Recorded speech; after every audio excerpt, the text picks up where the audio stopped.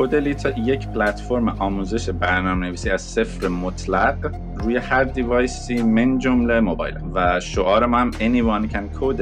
اهمیت یاد گرفتن کد. فکر نمی کنید یه کم دیگه اضافه کاری داره میشه از الان به بعد؟ به نظر من AI خیلی شغل رو replace می‌کنه ولی کسی که بتونه خلق کنه شد آخرین کسی میشه replace و ما می‌خوایم از اونها بسازیم. تجربت بعد از launch کردن رو product چطور بوده؟ سر این که خب ما چجوری اینو release کنیم که بتونیم اون number one Product Hunt رو بگیریم ما شاید یه هفته ای فکر کردیم. من دیروزش نگاه می‌کردم یه user 9 ساعت و نیم توی یک روز با کدلیت کار کرده اینجا بودم که حاج چشات در اومد. پاشو. کدلیته و کدلیتا کدلیته خیلی میگه کدلیته سلیته است مگه؟ کدلیتا کدلیتا کدلیتا feature اضافه کردن جواب استارتاپ نیست. Evernote خیلی فیچر و اینا خیلی زیاد ساخته بود. گفت مشکل ما این بود که هر کی داره 50 درصد قسمت product استفاده می‌کنه. بدبختیمون اینجوری بود که نمی‌دونستیم کدوم 50 درصد. یعنی اگر که شما خجالت زده و شرمسار نیستید بابت پروداکتی که میدین محصول که میدین بیرون شما دیر دارین میدینش بیرون. درس زندگی من اینه که تمام این جملات و اینا هیچ کدوم از صفر و یک نیست. از همه یه درصدی می‌تونی برداری.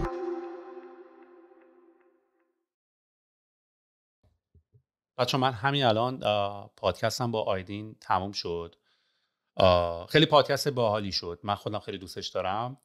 خیلی technical صحبت کردیم راجع به سری مسائل در رابطه با launch استارتاپش bootstrap کردن و رسیدن به Product Hunt launch کردن تو Product Hunt و شماره یک شدن.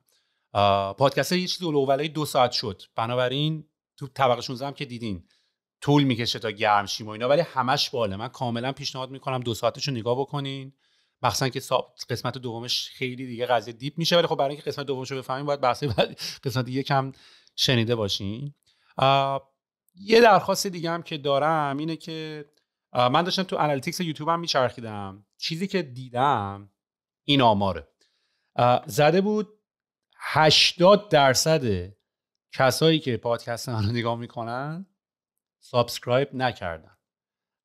بعد اگرم دقت کرده باشین یکی از تکنیک اینه که همیشه بیا اول پادکست بگی که لطفا subscribe بکنین و اینا. من این کاری وقت نمی‌کنم چون خوشم نمیاد دوستم ندارم.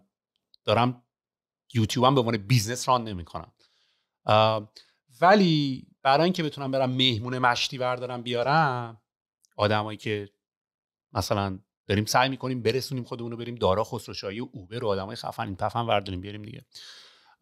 نمی‌تونم برم لینک بدم بگم برو پادکست رو ببین بعد زده 20 هزار تا subscriber که. می‌دونی؟ بنابراین بزن اون زنگ رو بزن subscribe بکن. این دمت گرم. این عدده بره بالا. بتونیم رومون بشه لینک بفرستیم بگیم انقدر آدم دارن نگاه می‌کنن لطفا بیا پادکست ما. واسه همین دمتون گرم خیلی هم مشتی هستیم. فلنگز.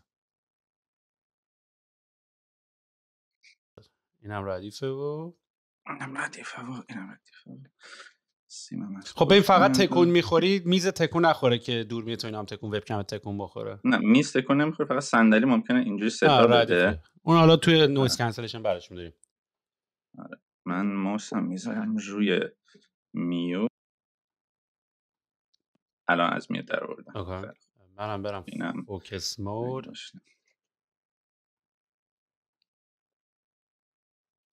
بریم بنده در ببن تا آخریش هم ببن تا تهش هم ببن دقیقا یه موقع گیر ندن من خب. بریم و یازده هشت طبقه 16 ساعت 9 و 24 دقیقه شروع می‌کنیم آقا الوعده و الوفا قسمت دو رو که قولشو داده بودیم دوباره باید با هم دیگه صحبت بکنیم داریم شروع می‌کنیم. چطوری آیدین؟ قربانت مرسی. تو خوبی سایه؟ چاکرم. تنگ شده بود؟ و همچنین رو برشتی؟ چقدر بود؟ آره من عالی. فکر یه ده یا زمانی شده بود درسته؟ آره یه سال نشده ها؟ یه سال نشده چه خبر؟ چیکار می‌کنی؟ رو برایی؟ شکر قربانت. میگذرونیم. آره یه تقریبا یک ماه و دو روزه. که این پلتفرم بالاخره لانچ عمومی کردم بعد چهار سال و خیلی درگیر اونم ولی خیلی خوبه دیگه. کلی چیزای خوب داره. تو یه چیزی رو توی پراداکانت لانچ کردی که اصلا قرار شد آره، راجع به. اون با هم صحبت بکنیم. برای منم یه سری متریال فرستادی که من ببینم. من نرسیدم ببینم. و یه مقدارم دوست داشتم نبینم به خاطر اینکه دوست داشتم تو پادکست با هم دیگه review ش بکنیم. که کسی هم که داره گوش میده یا می‌بینه مثل منی که هیچ ایده ای نداره بخواد با همون آهنگ که خود توضیح میدی آشنا بشه. واسه همین آقا تنها چیزی که من می‌دونم به من گفتی اینه که یه success ی داشتین توی launch Product Hunt و من اتفاقا چند بار توی Product Hunt توی پادکست در رابطه با Product Hunt صحبت کردیم. و جالب بود تو کامنت هایی که میومد یه سری از من پرسیدن که آقا چی؟ چی چی hunt؟ چجوری داری میگی؟ چجوری می نویسنش و اینا؟ Product Hunt یعنی شکار محصول. حالا به معنی فارسی بخوایم برش گردونیم که یه سری آدما وقتی product های جدیدی که میاد یه سایتی بود که می‌تونستن برن upvote بکنن. حالا من توضیح نمیدم چون الان نمی‌خوام شروع اولش نیم ساعت اول من دارم حرف می‌زنم. دوباره گیرا شروع شه. تو بگو Product Hunt چیست؟ Product Hunt چیست؟ آره hunt ش H U N T یه دونه haunt هم داریم که مثل قبضه کردن شکار روح و این چیزاست ولی نه. این hunt شکار H U N T بعد چیه؟ چیه سایتی که آدم میرن میگن که این product اومده این محصوله اومده. بعد مثلا یه خط توضیح میدن یه اسکرین شات و ویدیو این چیزا می‌ذارن. بعد بقیه میان میگن که او چقدر این چیز خوبیه. ام، می‌تونه اون کسی که سازندش باشه بره بذاره. می‌تونن آدمای دیگه برن بذارن. و مثلا چت تو روزی که اومد مثلا Product Hunt بعد مثلا میلیونی همه فهمیدن. ام، مدلش هم اینه که خب آدما میان می‌بینن. مثلا هر روزی که login کنی توی Product میگه که مثلا سه تا product برتر امروز ایناست. و هر روزم یه رأیگیری روزانه داره که ساعت دوازده نیمه شب به وقت همین کالیفرنیا PDT reset میشه. و توی روز launch ما که 6 نوامبر بود ما تونستیم اول بشیم و بعد یه بجی داد که product of the day بود که ما اونو گذاشتیم توی وبسایتمون و همه جا گفتیم و اینا. خیلی هم حال داد. حدود 700 و خورده 800 تا upvote ما گرفتیم. حدود فکر کنم 70 80 تا الان شده 100 تا ما review گرفتیم که تقریبا 4 و 95 اینا بود اوریجش امروز همش 5 بود. و حتی founder خود Product که خودشون الان 10 11 ساله دارن اومد و بهمون تبریک گفت و گفت که مثلا چقدر چیز جالبی مثلا استوری پشتش چی بود از این حرفا. رایان هوور خیلی پسر active یه. هم تو توییتر خیلی active ه هم تو hunt کردن خیلی active ه. من product Product Hunt رو خیلی دوستش دارم. یه سیستمیه که همونطور که خودت گفتی می‌تونی product رو upvote بکنی.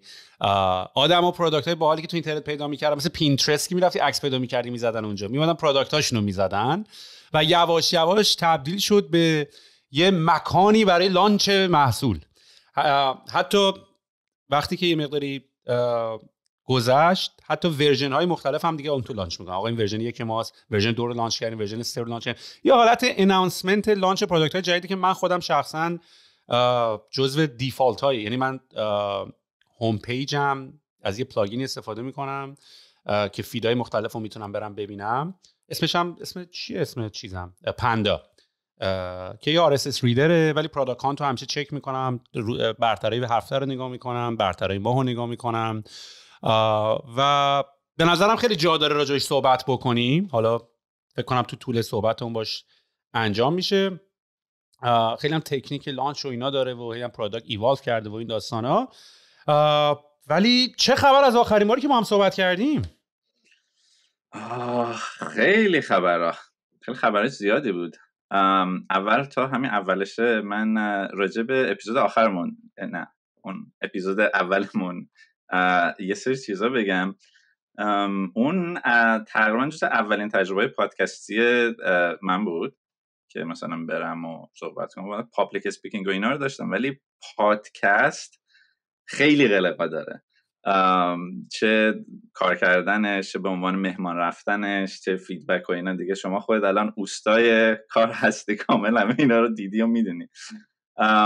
و بعدش اتفاقی که افتاد یعنی به نظر من خیلی خوب بود. یعنی مثلا فکر کنم دقیقه آخر پادکست من تو اینجوری بودیم که آقا چقدر خوب حال داد اینا مثلا یه جلسه دیگه هم بزنیم راجع به product و leadership و فلان اینا حرف بزنیم. ولی بعدش که این release شد feedback ها خیلی چیز بود مختلف بود و خیلی هم در دو سمت بود.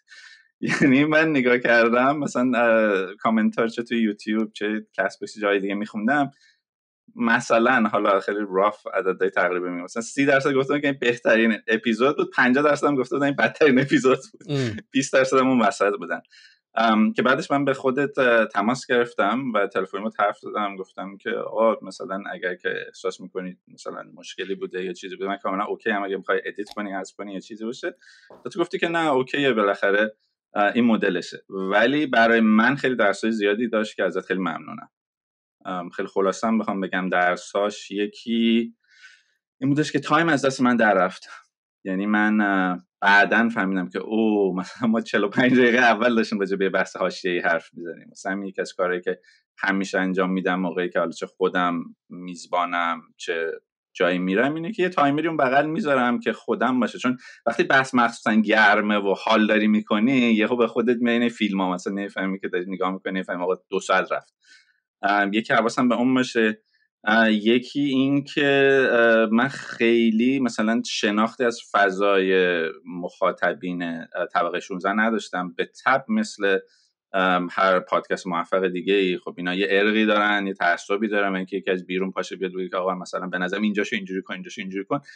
ممکن مثلا برای تو این باشه که oh that's feedback یعنی من الان product launch کردم خودم هزاران تا feedback دارم. و میگم که خب okay دست درد نکنه. مثلا من تو میگه اینو آبیش کن من 10 تا از این شنیدم 20 هم شنیدم قرمز اینا می‌ذارم کنار هم مثلا میگم احتمالا این اینجوری اینجوری. ولی برای یکی از بیرون ممکنه اینجوری باشه که او این داره مثلا اتک می‌کنه اینجوری. و من از اون بابت هم از تو معذرت می‌خوام هم از فالوورا و فن گروپ های بچه های طبقه 16 و آره چی بهشون میگه؟ سوهیلیتیان طبقه 16 نه برای بچه های آره. طبقه 16 دیگه. ولی من معذرت خواهیم نه ولی دمت گرم که اینو داری میگی. به خاطر اینکه من فکر می‌کنم تنها راه پیشرفت اینه که آدم بتونه یک دیالوگ داشته باشه بتونیم صحبت بکنیم. واسه همین شماره یکی اینه که به من میگن چرا اینو ورش پادکست چرا اونو ورش پادکست اینجوری که آجی من هر کی بخواد بیاد پادکست من پایم باش حرف بزنم. یعنی حالا نه هر چی ولی کلا. ولی منظورم اینه که دیالوگ داشتن یعنی مثلا یه حزبی یه چیزی که مثلا همه میگه نه اصلا با اینا نباید صحبت کرد چرا می‌خوای به اینو تریبون بدی؟ من با همه دیالوگ خواهم داشت. اصلا باید یاد بگیریم دیالوگ داشته باشیم. چون هیچ راهی یا باید بزنیم هم دیگه رو با شات کنیم یا باید حرف بزنیم دیگه. از این دولت که خارج نیست. نظری هم با رو حرف بزنیم که بدتر و بدتر و بدتر میشه. داریم می‌بینیم نمونهش جنگ رو داریم می‌بینیم. دیگه دیالوگ نمی‌تونیم داشته باشیم. و دو اینکه بعد از اینکه دیالوگ داشتیم یا یه اتفاقی افتاد یا یه کاری کردیم حتما به feedback بعدش نگاه کنیم. یعنی جز اینکه دوباره برگردیم واسه همینه من دیگه خیلی باکی نیست که اشتباه کنم یا یه سوتی بدم یا نه. چون این برای من آخر learning داره. اتفاقا هر چی سوتی گنده تر learning ش بیشتر. و اینا چیزایی که یکم اتفاقا آدم آروم هم میشه. یعنی مثلا اینطوری که okay پس okay ه. اصلا من اتفاقا دنبال اینم که ببینم یه اتفاقی بیفته که چیزی ازش یاد بگیرم.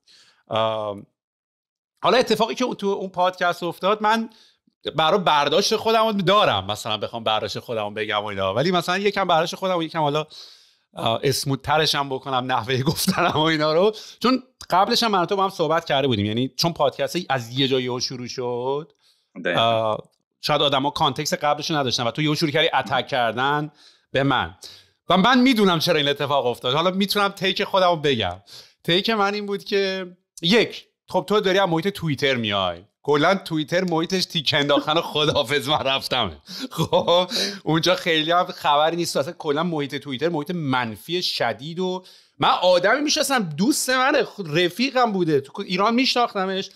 بعد یوهو تو توییتر می‌بینم اتک زده به من. اینجوری که داداش تو مثلا رو در روی من بودی که عمرن اینجوری حرف نمی‌زدی. نمی‌دونم این محیط توییتر یه محیط تیکه رو بندازی خدافظ ما رفتیم داره. دو این شناخت audience رو درست داری میگی؟ که اصلا یکی از مهمترین توی Shark Tank هم همیشه این برنامه که میان پول ریز می‌کنن funding می‌گیرن و اینا. یه بار مارک کیوبن برگشت گفتش که learn to read the room یاد بگیر اتاق بخونی. می‌دونی؟ و منظورش از این حرف بود که همه جا تو shark ا داشتن اونجا هی بهش نه می‌گفتن و اینا. این خیلی شانس این که بتونه از یکی پول raise بکنه خیلی کم بود. بعد هی counter offer هم می‌دادیم وسط. که یه مارک کیوبن گفت آقا من I'm out. تو مثل حواست نیست محیط چجوری و اینا. که حالا خب تو دنیای آنلاین و اینا من فکر کنم چون برات درصد خیلی بالایی از کامنت که زیر پست های من شاید بره اینا تو چقدر حرف می‌زنی و نمی‌دونم اینا این یه angle ی بود برای تو که تو هم همون feedback رو بگیری بیا اینو توی به عنوان یه مهمون تو پادکست به من بگی. Probably کلی هم احتمالا آدم اینجوری که دمش کرد یه نفر اومد اینو گفت تو پادکست. ولی backfire کرد. و به خاطر اینکه همیشه اونایی هم که خیلی کامنت های این تیپی می‌ذارن معمولا آدم های شاکی هم که کامنت می‌ذارن دیگه. تو شاید majority رو داشتی اون آدمایی که دارن حرف می‌زنن می‌دیدی. حالا تو رو نمیگم منم دارم بررسی می‌کنم الان یعنی روی صحبتم با تو نیست. بعد یهو شاید اون اون audience خاموش یهو به دفاع به پا خواست. می‌دونی چی میگم؟ و برای منم جالب بود. یعنی منم اینجوری که ای خب پس بس هستم برای بچه ها یعنی چون فقط تو تو اگه کسی بخواد یه فوشی بده کامنت می‌ذاره. اگه کسی بخواد تیکه بذاره کامنت میده. معمولا اگه نگاه کنی مثلا 10 تا کامنت منفی مثلا ده هزار تا لایک. بخاطر اینکه آدمایی که قاطیان حرف می‌زنن. و من فکر کنم تو اونجا یه angle اتفاقا دیدی ازش وارد چی اتفاقا. ولی backfire کرد. حالا that was my take. نمی‌دونم حالا چقدر این قبول داری اینو یا نه. خب کمال احترام نه. چون که اولین برخوردی که مثلا داشتم از تو اولین شناخته که داشتم اولین باری که مثلا اسم طبقش شنیدم اون اپیزود ابرآروان بود. خب یعنی اصلا من قبلش نمی‌دونستم این کسی همچین پادکستی وجود داره. چون من خیلی پادکست نیست و من وقتی اون اپیزود رو دیدم اصلا از کامنت های کسی هم نخونده بودم. خودم بلافاصله توییت کردم که آقا من خیلی دوست داشتم اینو بشنوم. دو X ش هم کردم. ولی هی مطلب به نظر من هی باید می‌زدم جلو. چون مثلا من اومده بودم اینجا که حرفای اون دوتا بنده خدا رو بشنوم و مثلا متوجه بشم که اونا چیه موضعشون چی چی میگن چه چیز جالبی دارن. ولی خب مثلا قسمت های مربوط میزبانش زیاد بود و اینو من توییت هم کردم با کمال احترام حتی. یعنی اصلا نیومدم بگم که وای چقدر بده من مثلا دو X ش هم کردم جلو هم می‌زدم دوباره وسطش خوابیدم و بیدار شدم ولی این مشکل منه. خب یعنی می‌خوام بگم که نه من اینجوری نبودم که بیام میشه کامنت بخوام بگم من می‌خوام سرباز موفق اینا باشم نه. این نظر شخصی خودم بود و مثلا چیزم که یاد گرفتم که من این مدلی ام. تمام هواداران تو تمام کسایی که اینو دوست دارن خب اینو اینجوری دوست دارم مثلا که مثلا من برم توی یه کافه ای که همه vegetarian ن نشستن سالاد می‌خورم یا همبرگر خوشمزه است. خب چرا اومدی اینجا؟ برو خونه نه ولی نکته که داری میگی یه چیزی که آخه حرفی که داشتیم زدی درست بود. یعنی feedback ی که داشتی می‌دادی؟ برای منم دنی درسته. یعنی اینجوری که آقا این آدم ببین 90 درصد کاری که تو این پادکست شاید داره انجام میشه اگه قرار باشه توی کتاب business ی بخونی چطوری پادکست رو بکنیم ما داریم نفس نصف اون رو غلط انجام میدیم. پادکست نباید دو ساعت خورده ای باشه اتنشن اسپن آدم ها پایینه باید 20 دقیقه ای باشه میزبان باید گوش بکنه باید حرف نباید زیاد بزنه. ما همه اینا رو داریم خلافش رو انجام میدیم. ولی بعضی موقع یه سری چیزا خلافش هم کار می‌کنه دیگه. خیلی نکته قشنگ گفته و کودلیتا خیلی اینو داره که مثلا چرا چهار سال طول کشید و راجبش یعنی مثلا من چهار سال طول دادم ولی که مثلا به قول تو هم textbook استارتاپ و همه lean startup اینا اینه که آقا سریع ام رو بده بیرون زیر 6 ماه و یاد بگیر. ولی که من کاملا مخالف اونو رفتم و دقیقا این چیزی که دوستم تو بحث حالا product و اینا بیشتر بهش بریم. من اون بحث قبل نمی‌خوام خیلی برم ولی نکته ریز دیگه هم که اضافه کنم راجع به read room و این چیزا قضیه اینه که اون اتفاقی بر من افتاده که the room wasn't there. یعنی توی صحبت ما نبود room room یه چیز بیرونی و در زمان آینده بود که من نمی‌تونستم داره. اونو بخونم. و از اون ورم من خیلی چیزها رو مثلا اینجوری بودم که I'm going with the flow of the host. یعنی من نمی‌خواستم flow تو رو hijack کنم یا مثلا بگم که او بیا بحث عوض کنیم اینا. واسه همین احساس میگم خب اگه گفتی گفتی من اومدم hijack کنم. نه این بحث آره، آره. یعنی مثلا الان من دارم میگم بیا بریم سر product نمی‌خوام 25 دقیقه راجع به این انجام اون سری من اینجوری بودم که خب منم احترام می‌ذارم. اگه مثلا سهیل داره همین این بحث راجع به مثلا چیزا رو ادامه میده خب من احترام بزنم بذارم بره. ولی نمی‌دونستم که خب همین این به قول تو ممکنه مشکل ساز بشه. آره، و منم یه چیزی هم تمرین کردم دیگه. منم اگه یاد باشه اونجا گوش دادن و نقد و پذیرفتن هرچند که برام پلزنت نباشه واقعا ولی راستم. یعنی چه وضع انگلیسی فارسی حرف زدنه؟ دیگه حالا پلزنت ولی کلمه اون کلمه که دوست دارم نمیاد تو ذهنم سری لذیذ لذت آره مثلا چون نه نمیشه. باز معنیش نمیشه. باید کتاب فارسی خوندنم رو دوباره شروع کنم. من یه زمان کتاب فارسی زیاد میخوندم کتاب فارسی خوندنم کم شده. مشکل من الان اینه. توییترم یاد ولی آره ولی خلاصه اینطوریه که It was یعنی یه جورایی real example example واقعی این بود که یکی داره فیدبک میده که باید گوش کنه. تا زمانی هم که حرف طرف مقابل تموم نشده. می‌دونی؟ و ما این مشکل ما ایرانی ها خیلی داریم یعنی خیلی میپریم به هم دیگه و اون یکی گوش نمی‌کنه. Anyway میفهم داره میشه 25 دقیقه داره میشه ولی ها. اگه می‌خوای 5 دقیقه راجع حرف نزنیم نه ما فکر کنم منم تایمرم دقیقاً 25 دقیقه 30 ثانیه است. فکر یه 10 دقیقه دیگه شروع کنیم تا setup اینا رو بکنیم. ولی خلاصه ببین اون خیلی برای من لرنینگ داشت. و من بعد از اون خودم یه پادکست زدم. یعنی اولا دوست داشتم ببینم که دنیای پادکست چه جوریه. و توی اپیزود اولم هم گفتم گفتم من حکم یه قصابی دادم که خودش وجتریانه با من یادم که پادکست باز نیست پادکست گوش نمیده دارم پادکست میدم. تقریبا 13 قسمت هم دادم صوتی بوده البته.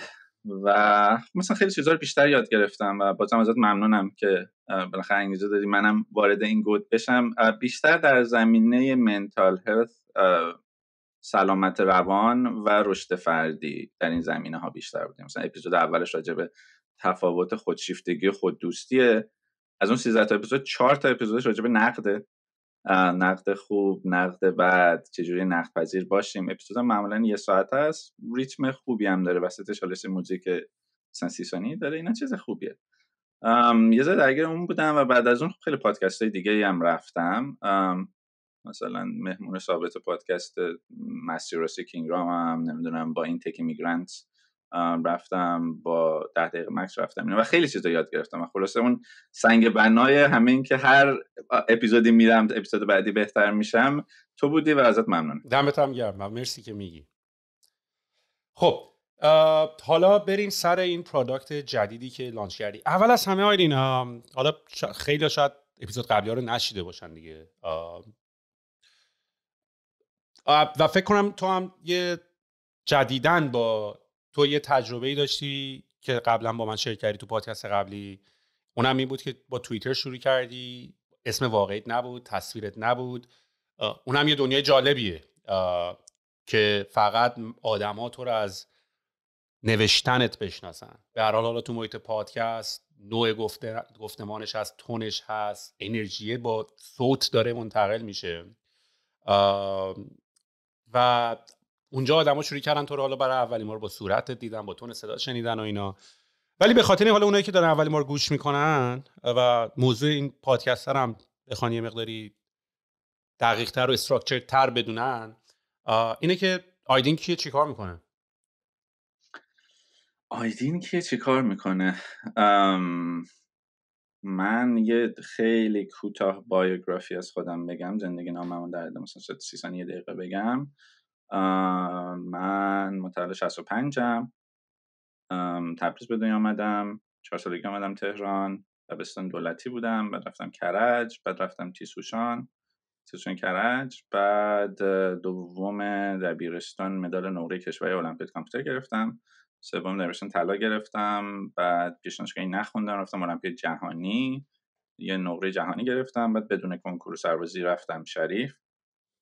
لیسانس گرفتم ولی اصلا درس نمیخوندم چون کلا سیستم آموزشی دانشگاه خیلی باحال نبود. من پیشنهادگاهی نخونده بودم ریاضی و فیزیک و این چیزا اصلا در و دیوار بود. مثلا معدل ترم یکم شد فکر 12 معدل کارم شد 14 همچین چیز.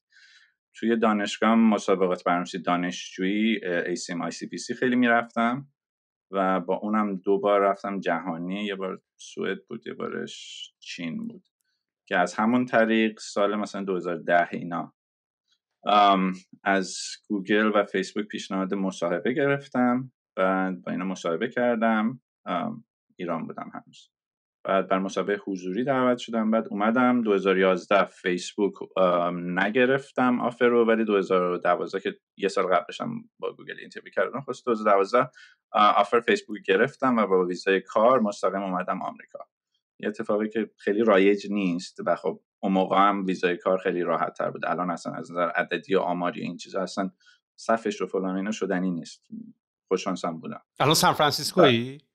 چرا ما event طبقه 16 رو نگفتیم یا یعنی من publicly گفتم؟ من, من missed کردم ولی عکساتو دیدم کل آشنا من بودم ولی I missed that ولی بعدش که عکس رو دیدم گفتم کاش می‌رفتم. آره. یه عکس سلفی گرفته بودی از بالا این آره. من آره الان تقریبا چند سال کنم؟ در 12 سال سان فرانسیسکو بعد گوگل یه چند ماه کمی بودم. یه مشکل export license خوردم که یه چیزی شبیه ویزا به خاطر اینکه من شهروند ایران بودم و می‌تونستم دسترسی هایی داشته باشم داخل گوگل. با اینکه خب همه می‌دیدن ولی بعد از مثلا وزارت کار و فلان و فلان اخذ مجوز می‌شد که اون نه ماه طول کشید و بعد گفتن نه هیچ توضیح هم ندادن. و من کاری رو هم که گوگل بود از دست دادم هیچ کم نمی‌تونستم بکنم. بعد رفتم یه استارتاپی پنج سال اونجا بودم که مثلا بعد دو سال شدم manager آخر شدم director. بعد green هم گرفتم دوباره با گوگل مصاحبه کردم و دوباره offer گرفتم. من خب استارتاپ خیلی دیدم بیشتر دوستم دیگه نرفتم گوگل و فیسبوک و آمازون. از اینا offer داشتم به یه استارتاپ دیگه. رفتم یه استارتاپ دیگه ای که تو fintech بود Credit Karma. یه سالی اونجا بودم. بعد شروع کردم روی کدلیتا تقریبا از 2019 این وسط هم یه چند ماهی رفتم یه استارتاپ دیگه ای کار کردم ولی کلا تقریبا از 2019 full time روی کدلیتا دارم کار می‌کنم. از تقریبا یک سال پیش ما شروع کردیم user های alpha مون رو داشتن. یعنی مثلا این تک و توک آدم ها رو می آوردیم تو که تست کنن. و خب این alpha testing مون roughly میشه گفت یه نه ماهی طول کشید. چون که می‌خواستیم که خیلی یه سری feature هایی داره که اینجوری نیست که حالا بده بیرون درست میشه. اگه خواستی حالا رفتیم راجع به اینکه product چیه راجع به اینا بیشتر صحبت می‌کنم و اینکه تا 6 اکتبر که یک ماه و دو روز پیش بودم ما رونمایی عمومی کردیم و خیلی استقبال خوبی ازش شده. یعنی الان چندین هزار تا user داریم تقریبا 200 هزار تا کد submit شده. کلی اتفاقات چی هست اصلا؟ کدلیتا یا کدلیتا میخونیش؟ کدلیتا کدلیتا C O D E L I T A. اوکی کدلیتا ولی کدلیتا آره کودلیتا دات کام بری اون صفحه اولش هم ساین اپش هستم. اپ اندروید و آی رو میشه گرفت. شورت یو آر هم سی او دی نقطه ال ای پنج کاراکتر و رفتی تو دمو. من رفتی تو سی بی. آره بذارم تو خود سایتش. اوکی آره آره. برگرد آره. این کودلیتا کودلیتا دات کام که برین سی او دی ای ال آی تی ای اونجا اپ استور و Google Play میشه رفت. می‌تونی اینو تبدیل کنی به mobile view. F12 رو بزنی تبدیل میشه به موبایل. و میشه نشون بده که توی موبایل چجوری کار می‌کنه کی design کرده براتون ولی؟ خودت. This is a, this is a startup dude. الان باید عمودیش کنی اگر که بتونی.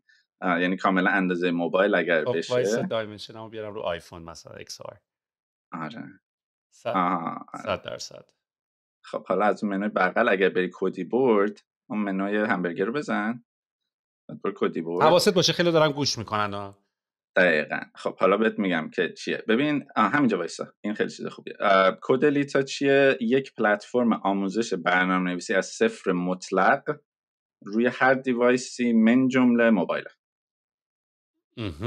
و شعار ما هم anyone can code و راجع به این انیوان هم داستان خیلی زیاد دارم. یعنی مثلا من یوزرهایی که الان توی کودلیتا درس اول رو تمام کردن که بین 20 تا 50 ساعت داخل اپ طول می‌کشه مثلا من دیروز نگاه کم یه یوزر داشتم 17 سالش بود از بندر خمیر تو ایران که من نمی‌دونم کجاست 90 کیلومتر بندر عباسه.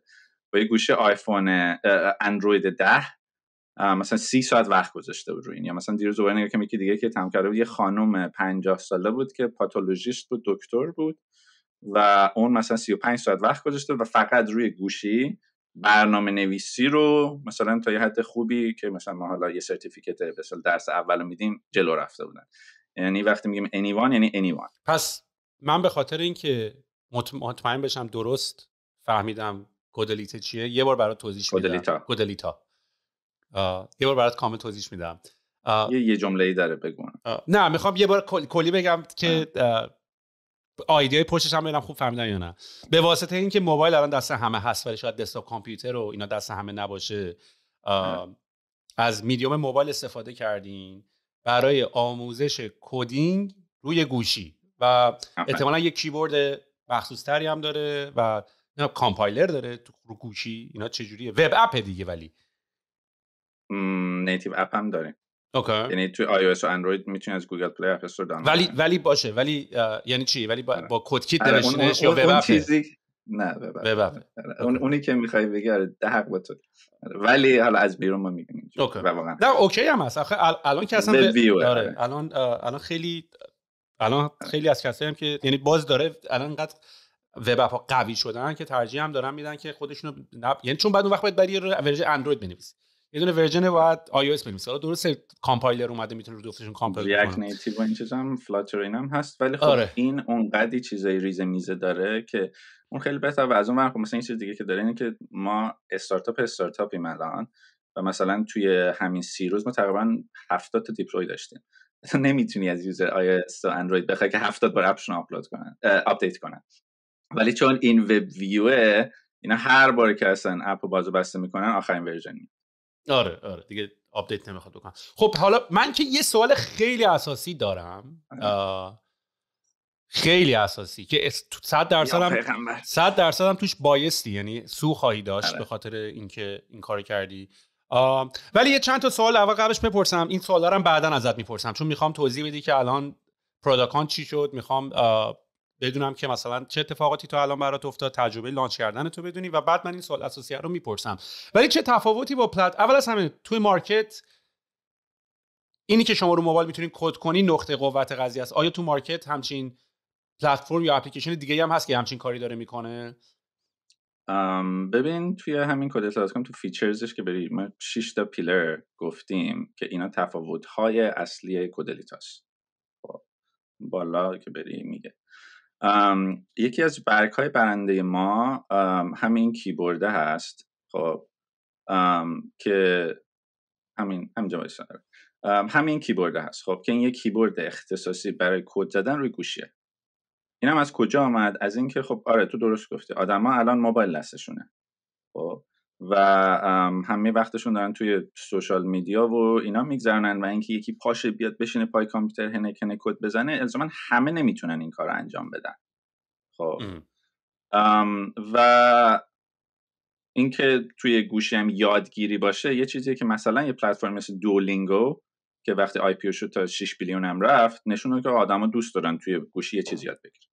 حالا سوال اینه که خب چجوری میشه توی گوشی به آدم coding یاد داد؟ چون خود گوشی موبایل مثلا دکمه tab نداره. یا مثلا undo نداری توی گوشی مثلا home و end نداری. خب دهنت صاف میشه بخوای این کار انجام خیلی از اه، پلت یعنی توی گوشی مثلا هم 2019 کلی پلتفرم کلی اپ هست توی هم گوگل پلی و اپ استور که میگن آموزش برنامه‌نویسی گوشی اینا اکثرا چیکار می‌کنن؟ یا میان به صورت چند گزینه ای یه چیزی رو یاد میدن بعد یه سری سوال تستی بله خیر می‌پرسن.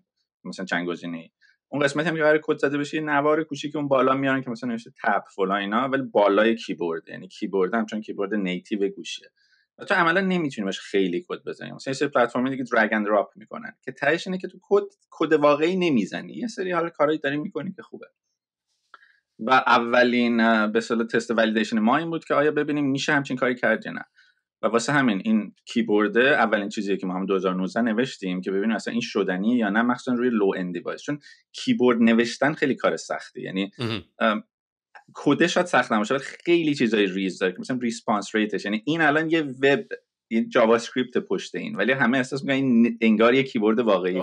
می‌تونم حدس بزنم. ما خودمون حالا من تو که داری کیبورد می‌سازی. ما تو همین اه، Bettermode خودمون رو موبایل وقت responsive وقتی سیستم یکی می‌خواد کامنت بذاره این کیبورد که میاد بالا نصف صفحتو می‌گیره رو تو رو native app راحت می‌تونی handle کنی چون کاملا behavior رو عوض میشه. جای دکمه دیگه نمی‌تونه اون پایین باشه input ت دیگه نمی‌تونه انقدر فضا بگیره دکمه رو باید ببری بالا. بعد laggy یعنی هر کاری تو بکنی lag می‌زنه رو وب می‌دونی؟ و اونم کروم یعنی باز حالا سافاری واقعا یکم دمش کرد خب ولی خب سافاری من خودم نتونستم هیچ وقت سافاری رو default استفاده کنم به خاطر که انقدر رو کرومم plugin دارم. ولی خب سافاری همینه دیگه گفته این plugin هاست که می‌زنه سیستم تو می‌ترکونه دیگه. و می‌تونم بفهمم که چقدر کیبورد ساختن. اونم رو وب کار کثافتیه اصلا یه آفرین. کلمه خیلی دقیق و قشنگی به کار کار کثافتیه و فکر کن که تو حالا می‌خوای این هم روی browser کار بکنه browser گوشی هم روی اندروید و هم روی iOS برای اینکه بگم چقدر painful ه اینم بگم که اندروید وقتی کیبورد میاد بالا viewport میگه انقدره. iOS وقتی کیبورد میاد بالا اندازه viewport رو همونقدر نگه داره شیفت میده بالا. و من اونقدر راجع به اینا ای کار کردم یه چیزش اینجوری کردم یه اینجوری کردم و همه اینا هم کلی search می‌کردم. توی سایت Stack Overflow که بزرگترین forum برنامه نویساست من اونقدر رفتم خوندم سوال پرسیدم جواب دادم که مثلا چه کلی مدال رو اینا اونجا گرفتم که فقط جواب دادم اینجاش اینجوری اینجاش اینجوری. و از اون یه دغدغه دیگه که ما داشتیم این بودش که این روی low-end devices کار بکنه. یعنی مثلا من الان جلوم اینجا یک دو سه چهار پنج شش هفت گوشی هست که مثلا آیفون 6 و سامسونگ گلکسی S5 که مثلا مال 6 سال پیش 7 سال پیشه اینا device هایی که من تست نمید که روی اینا هم باید کار بکنه. که الان وقتی می‌بینم مثلا طرف تو بندر خمیر با یک گوشی چه می‌دونم قدیمی اندروید 10 تونسته چند ساعت 40 ساعت 50 ساعت کد بزنه سی ساعت نمی‌دونم یه همچین چیزایی. و تهش برام message نوشت من اینو توییت کردم دیروز که مثلا مرسی از شما که حالا انگلیسی هم نوشته که مثلا کمک کردیم من به اون passion م که programming روی یه weak phone یه گوشی ضعیف برسم. و ما اینجوری بودیم که wow مثلا این این این اون achievement ی که ما می‌خواستیم داشته باشیم. و این اونقدر این کیبورد چیز مهمی بود که ما سر این حتی framework مون رو عوض کردیم. یعنی مثلا همه الان با React میرن ما با Vue.js رفتیم که خیلی lightweight تر بشه و این کیبورد خیلی لو لول نوشته شده که resource عجیب غریبی مصرف نکنه وقتی که مثلا می‌زنی سریع response بده بره صفحه بعد اینا. خلاصه خیلی سریع review کنم. یکیش کیبورد است. یکیش اینه که integrated IDE یعنی بالاش editor داره. بعد این کیبورد و editor به هم سینکن. یعنی تو می‌تونی home و end بری یا می‌تونی مثلا magnifier بیاد بالا یا خیلی چیزا و یه دکمه run داره می‌زنی کد run میشه. مثلا این دوباره یکی از چیزایی که مثلا خیلی که Python می‌خوان یاد بگیرن الان اینجا اینکه برو 250 تا چیز اینو نصب کن VS Code بریز اینو ست کن برو تو فلان کن. این نه یک کد می‌نویسی دکمه می‌زنی run run میشه. و بعد همه خطای syntax نمی‌دونم هر مشکل داشته باشه بهت میگه که این میشه سومین feature ما. که چیه؟ ما دو تا AI engine داریم توی Codelita یکیشون حالا اسمای داخلیشون بر اساس کاراکترهای Friends کل سیستم های Codelita مثلا اون صفحه بیرونی home page Joey ه و این اگه تو source اش بری حتی view source هم بزنی می‌بینی. چون که خیلی dumb ه و یه صفحه استاتیکه که فقط برای مثلا SEO ایناست. اون app اصلی که یعنی اون قسمت اصلی یادگیری که مثلا user facing اون Rachel ه قرار جذاب باشه خوشگل باشه آدم استفاده کنن. native app مون اسمش Paolo ه یکی از اون دوست پسر Rachel ه که اینو wrap می‌کنه در واقع. backend مون سرور اصلی Ross ه که کار منطقی اینا رو انجام میده. admin panel مون که توش content اضافه که moderation می‌کنیم. Monica خیلی OCD داره دقیقه. یه engine مون که کارش فقط اینه که کد اشتباه کاربر رو بهش human feedback میده. این اسمش مرحوم Chandler ه که حالا اسم بیرونیش ما میگیم coach ولی اسم داخلیش Chandler ه. که این دوباره یکی از برگهای برنده Codelita ست چون کسی که می‌خواد برنامه‌نویسی از صفر یاد بگیره حالا اصلا گوشی و کامپیوتر بذار کنار. مهمترین مشکلی که یه کد می‌زنه یه semicolon جا میندازه بعد انقدر error می‌گیره. بعد این اینجوری که من چیکار کنم؟ هیچ نمی‌فهمم. و مثلا کاری که می‌کنه یعنی من خودم مثلا آدمای نزدیک زندگیم دوستام اینا دیدم اینه که مثلا یه عکس از این می‌گیره یا یکی مثلا صدا می‌زنه دوست این ارور رو من چیکار کنم؟ چندلر کارش اینه که اون ارور رو ترجمه می‌کنه به یه خطای پیام بامزه آدمی زدی که مثلا برو فلان خط فلان چیز عوض کن. این آخریش هم که حالا میگم بعدا هر ما خاصی بریم توش فیبیه که یه ذره خاصیت جادویی و این وودوی اینا داره که اون personalized curriculum میده. یعنی بر اساس پیشرفت کاربر تصمیم که بهش تمرین های بیشتری بده یا ببردش فصل بعدی. یعنی اگه کسی داره درسش رو خوب می‌خونه و میگه آماده مثلا از if برو else ولی اگه می‌بینی رو همین داره مثلا همچنان گیر می‌کنه یه چند تا تمرین دیگه if میده. خب ببین چیزی که میاد تو ذهن من, من یه سوال دیگه هم بپرسم و احساس می‌کنم اون سوالا رو باید الان بپرسم چون اگه دیر بپرسم میفته آخر قضیه ولی میشه بحث اصلی جورایی. اول از همه این استارت این الان استارتاپ side project من چهار سال full time روش کار می‌کنم. OK. و چند نفرین؟ تعداد آدمایی کار کرده کم و زیاد شده. ولی مثلا full time اصلی من بودم ولی مثلا چند تا founder این یعنی؟ آه منم. OK. fund raise کردی از جیب خودت گذاشتی؟ still self-funded که مثلا این دوباره یکی از نقطه قوتمون. bootstrap کردی یعنی. آره. OK. پس پس فعلا یه یه project می‌تونم حالا استارتاپه.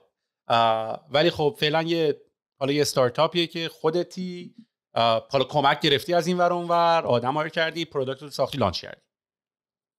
یه کمپانی هم هست. Codelita LLC is a registered LLC in California.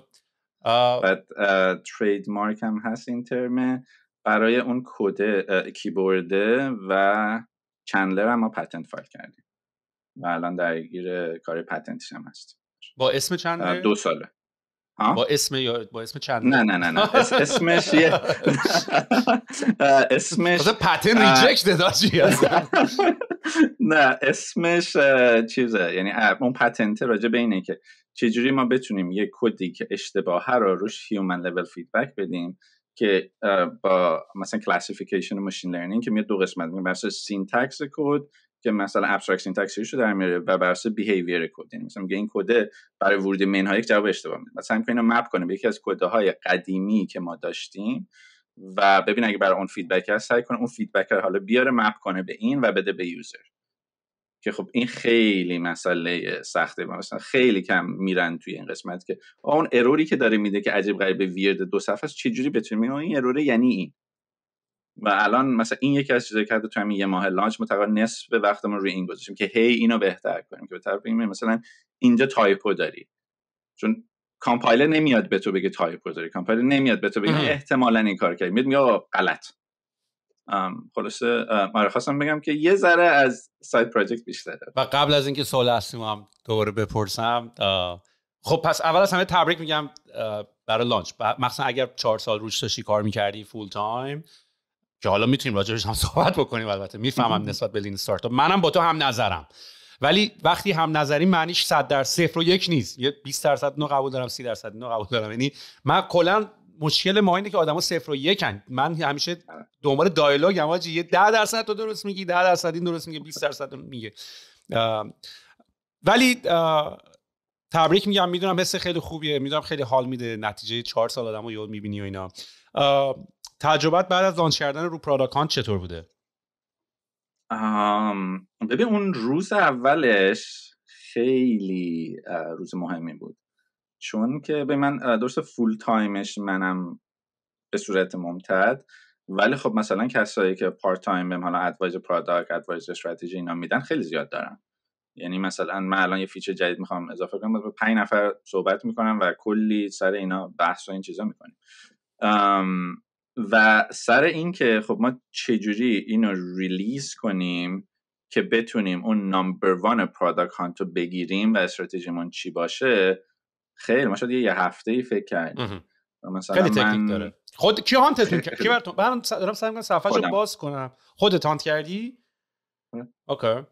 چون معمولا میرن hunter می‌گیرن. یه نفر یه نفر پول میدن بره براشون hunt اون وسط هم اتفاقا توی همون 24 کلی ایمیل اومد که مثلا یارو از هند بود می‌گفت از انگلیس چقدر 100 دلار بدین 75 تا upvote بهتون میده میگم یه همچین چیزایی. اینجا که نه یعنی ترجیح میدم که البته Product Hunt خیلی smart catch کنه اونا رو. من تجربه شو داشتم خودم. یه بارم تو پادکست صحبتشو کردیم. ما خودمون یه launch داشتیم رو Product Hunt منم از فرندا خواستم که بچه ها مثلا برید upvote بکنین. ولی خب Product Hunt نگاه می‌کنه. اونایی که same day account ساختن رو حساب نمی‌کنه. من چرا برای من حساب می‌کنه خب شاید رو تعداد بال یعنی به هر حال سیستم این که upvote هک شده یا غلط و count نکنه آره. زیاده. می‌دونی؟ آره، اینو قبول من یه قسمت خیلی خوبیش رو من مدیون follower ای توییتر هم هستم شاید باورت نشه Product Hunt بالا نمیاد.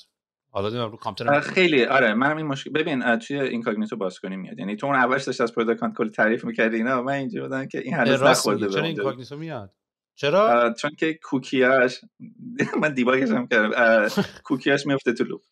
یه bug ه. حالا خیلی خوبی داره یه مشکل فنی من ندیده بودم آخه دیگه وا نشه.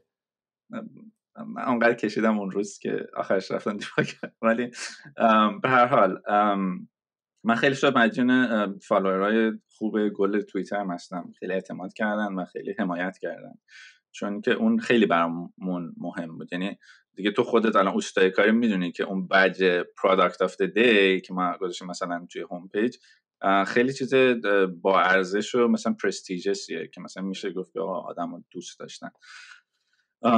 و از اون میگم وقتی مثلا خود founder Product Hunt میاد و مثلا اونم پنج ستاره میده و نظر میده مفصل یعنی اینکه خب این خیلی چیز خوبیه دیگه. خلاصه خیلی اون, اون روز خیلی روز بزرگی بود و من تقریبا 48 ساعتم نخوابیدم. آره. ولی خب اون follower ای توییتر خیلی کمک کردن. دوست داشتم. خیلی فک فامیل. آره آره همین برد تو launches. ما الان آره. اونا که دارن گوش می‌کنن screen مون share کردیم تو صفحه Product Hunt Codelita ست خیلی هم یواشه الان. نمی‌دونم there is something wrong with it. خدا رو که من نیستم. Codelita dot com که بریم هم صفحه اول یه دونه badge product of the day داره. می‌خوای یه reload کن من دوباره بزن.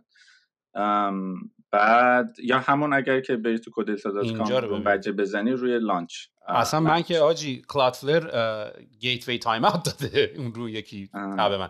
بذار بذار حالا اینو بعدا من سعی می‌کنم. حالا بعدا آره. وقتی اومد بالا ببین آره. ولی خلاصه این خیلی موفقیت خیلی خوبی بود چون کمک کرد که از روز اول ما visibility خیلی خوبی داشته باشیم. و اینکه مثلا timing ش دقیقا چطور باشه. بعد مثلا حالا من توی تلگرام گفتم کانالم توی توییتر مثلا یه کانال اعلام کردم که هست واسه کد فارسی که هنوزم هست. مثلا یه هزار خورده نفر دو هزار نفر تقریبا اونجان خلاصه همه دست به دست هم دادن و بچه خیلی لطف کردن و من دوباره اگر که میشنون فکر کنم خیلی از کسایی که رای دادن احتمال این اپیزود بشنون. واقعا تشکر می‌کنم و دمتون خیلی خیلی گرم. مرسی. یه قرعه کشی هم می‌خوایم. آخرش انجام ببین حالا یه کاری که کردم اگه خواستی راجع به اینم می‌تونیم وارد شیم. اینه که Codelita یک NGO نیست یک for profit startup کمپانی و business model ما subscription based ه قرعه کشی نداریم بچه ها منظورش اینه. ببین product تو منو یاد این میندازه create with play. خب؟ این اون موقع که اومد الان اینم دو سال دو بیشتر داره سعی می‌کنن develop بکنن تازه launch کردن. می‌بینم که وا داده و app مک هم درست کرده. ولی idea ی این اینه که اپلیکیشن موبایل باید natively روی موبایل درست بشه. یعنی فضایی که تو app و درست می‌کنی باید روی همون device باشه. و اومده کلا یه interface جدیدی اختراع کرده درست کرده که خیلی هم interaction های واقعا عالی داره. چون تو تمام انیمیشن های iOS و اینا رو همه رو تو Xcode درست کردن و نمی‌دونم توی Origami درست کردن و اینا خب خیلی سخته. بعد آدمی که باید پیدا بکنی باید front end developer designer slash native application بلد باشه باشه. و اومده تمام interaction های مقصد device رو روی خود iOS آورده. می‌دونی؟ و تم... و اومده component ها رو یه جوری درست کرده که تو هم این یعنی تو می‌تونی کاملا بدون استفاده از desktop بتونی یه اپلیکیشن موبایل رو کاملا روی روش بنویسی. و interface خیلی خیلی خیلی قوی داره. میگم یعنی برای من نقطه قوتش وقتی دیدمش من که قب... من که رو دسکتاپ کار کنم. مثلا کلا خیلی آدم موبایلی هم نیستن. حتی message زدن و واتساپ اینا هم رو دسکتاپه. ولی کلا این منو این product شما منو یاد این انداخت که natively حالا باید natively که نه ولی یه مقداری باید اپلیکیشن روی همون محیطی باشه که دم دستته. یه جورایی یعنی داری democratize می‌کنی build کردن اپلیکیشن رو. به تعداد آدم بیشتری داری دسترسی برای اپلیکیشن ساختن میدی. ولی بریم سر سوال اصلی که می‌خوام ازت بپرسم که می‌دونم اصلا می‌دونم جواب تو از الان چون نمی‌تونی با من agree کنی الان. تازه launch کردی رفتی وسط. ولی فکر... ولی نمی‌دونم چیزو دیدی یا نه. GPT 4 Turbo رو دیدی که launch شد پریروز؟ آره. و اتفاق خیلی گنده ای افتاد ما تو چند تا از پادکست بحثی که داشتیم می‌کردیم در رابطه با به وجود اومدن AI و اتفاقی که داره تو الان تو دنیا راجع به AI میفته خلاصه قضیه این که اصلا هوش مصنوعی الان چه اتفاقی داره میفته چی کار داره می‌کنه اینه که این با این مدل های زبانی یا با این large language model ها تو الان می‌تونی با زبان طبیعی natural language ی همینطوری که الان من و تو داریم با هم دیگه صحبت می‌کنیم با کامپیوتر صحبت کنیم. در صورتی که برنامه نویس قدرت و توانش این بود که بتونه با کامپیوتر صحبت کنه. یعنی ما انسان ها رفته بودیم زبان کامپیوتر رو یاد گرفته بودیم. پایتان یاد بگیر جاوا یاد بگیر اینو اونو یاد بگیر که بتونیم با کامپیوتر حرف بزنیم و بگیم من اینو می‌خوام اینو می‌خوام اینو می‌خوام اینو بده بیرون. این شد برنامه نویس این شد برنامه نویسی. اتفاقی که با large language model افتاده اینه که ما الان ما به کامپیوتر یاد دادیم. چرا من میام زبان تو رو یاد بگیرم؟ تو بیا زبان منو یاد بگیر. و الان عملا با ChatGPT یا حالا اپلیکیشن های مشابه و با این language با این large language model ها تو عملا با کامپیوتر حرف می‌زنی. یه اپلیکیشن برای من درست کن header ش اینطوری باشه صفحهش اینطوری باشه و خیلی از اپلیکیشن و خیلی از اتفاقاتی که بعد از به وجود اومده چت جی اومده خیلی از اپلیکیشن ها دارن اینطوری به وجود میان. یعنی الان مثلا durable.cc اومده که ادعاش اینه که زیر سی ثانیه وبسایت بسازید. توضیح میدی برات می‌سازه. فتوشاپ رو نگاه کن. یه تیکه عکس رو سلکت می‌کنی توضیح میدی برات اون یه تیکه رو جنریت می‌کنه. قبلا باید توتوریال نگاه می‌کردی how to remove a background و چجوری این کارو کنم. الان بهش میگی. آقا اون رو پاک کن اونجا دوتا گل اضافه کن. می‌دونی؟ این اتفاق توی موزیک افتاده. فیسبوک MusicLM یا گوگل و می‌تونی بهش بگی که آقا به من یه track بده upbeat باشه 160 per second مثلا تمپوش باشه اینطوری باشه اونطوری باشه همه اینا رو داری میگی. یعنی عملا اتفاقی که افتاده که ما قابلیت صحبت کردن با کامپیوتر رو پیدا کردیم به شکل شفاهی و کامپیوتر خیلی خوبم می‌فهمه حالا تازه این الان پریروز این اتفاق به این شکل عجیب افتاده. قبلش که تو میگی مثلا تو compile کردن و اینا نمی‌دونم GitHub Copilot بود و می‌تونستی قشنگ کد می‌زنی همونجا داره بهت میگه. حتی کد تو یکی از بحث اصلا این بود که الان یه تو یه نفر برنامه نویس junior بگیری می‌تونه یه کد junior ی بنویسه ولی به Copilot بگه من کدمو حالا improve کن. مثل اینکه من الان می‌تونم یه متنی بنویسم اندازه یه نویسنده خفن بدم زبانش رو درست بکنه برام. حالا قبل از اینکه میکروفون رو واگذار کنم به می‌تونم حدس بزنم که یه, تیپ، یه،, سری تیپ جوابی خواهید داشت. البته که هستن الان Code dot هم هست مال هادی پرتوی که داره برای ایرانیا launch می‌کنه. قرار بیارمش پادکست.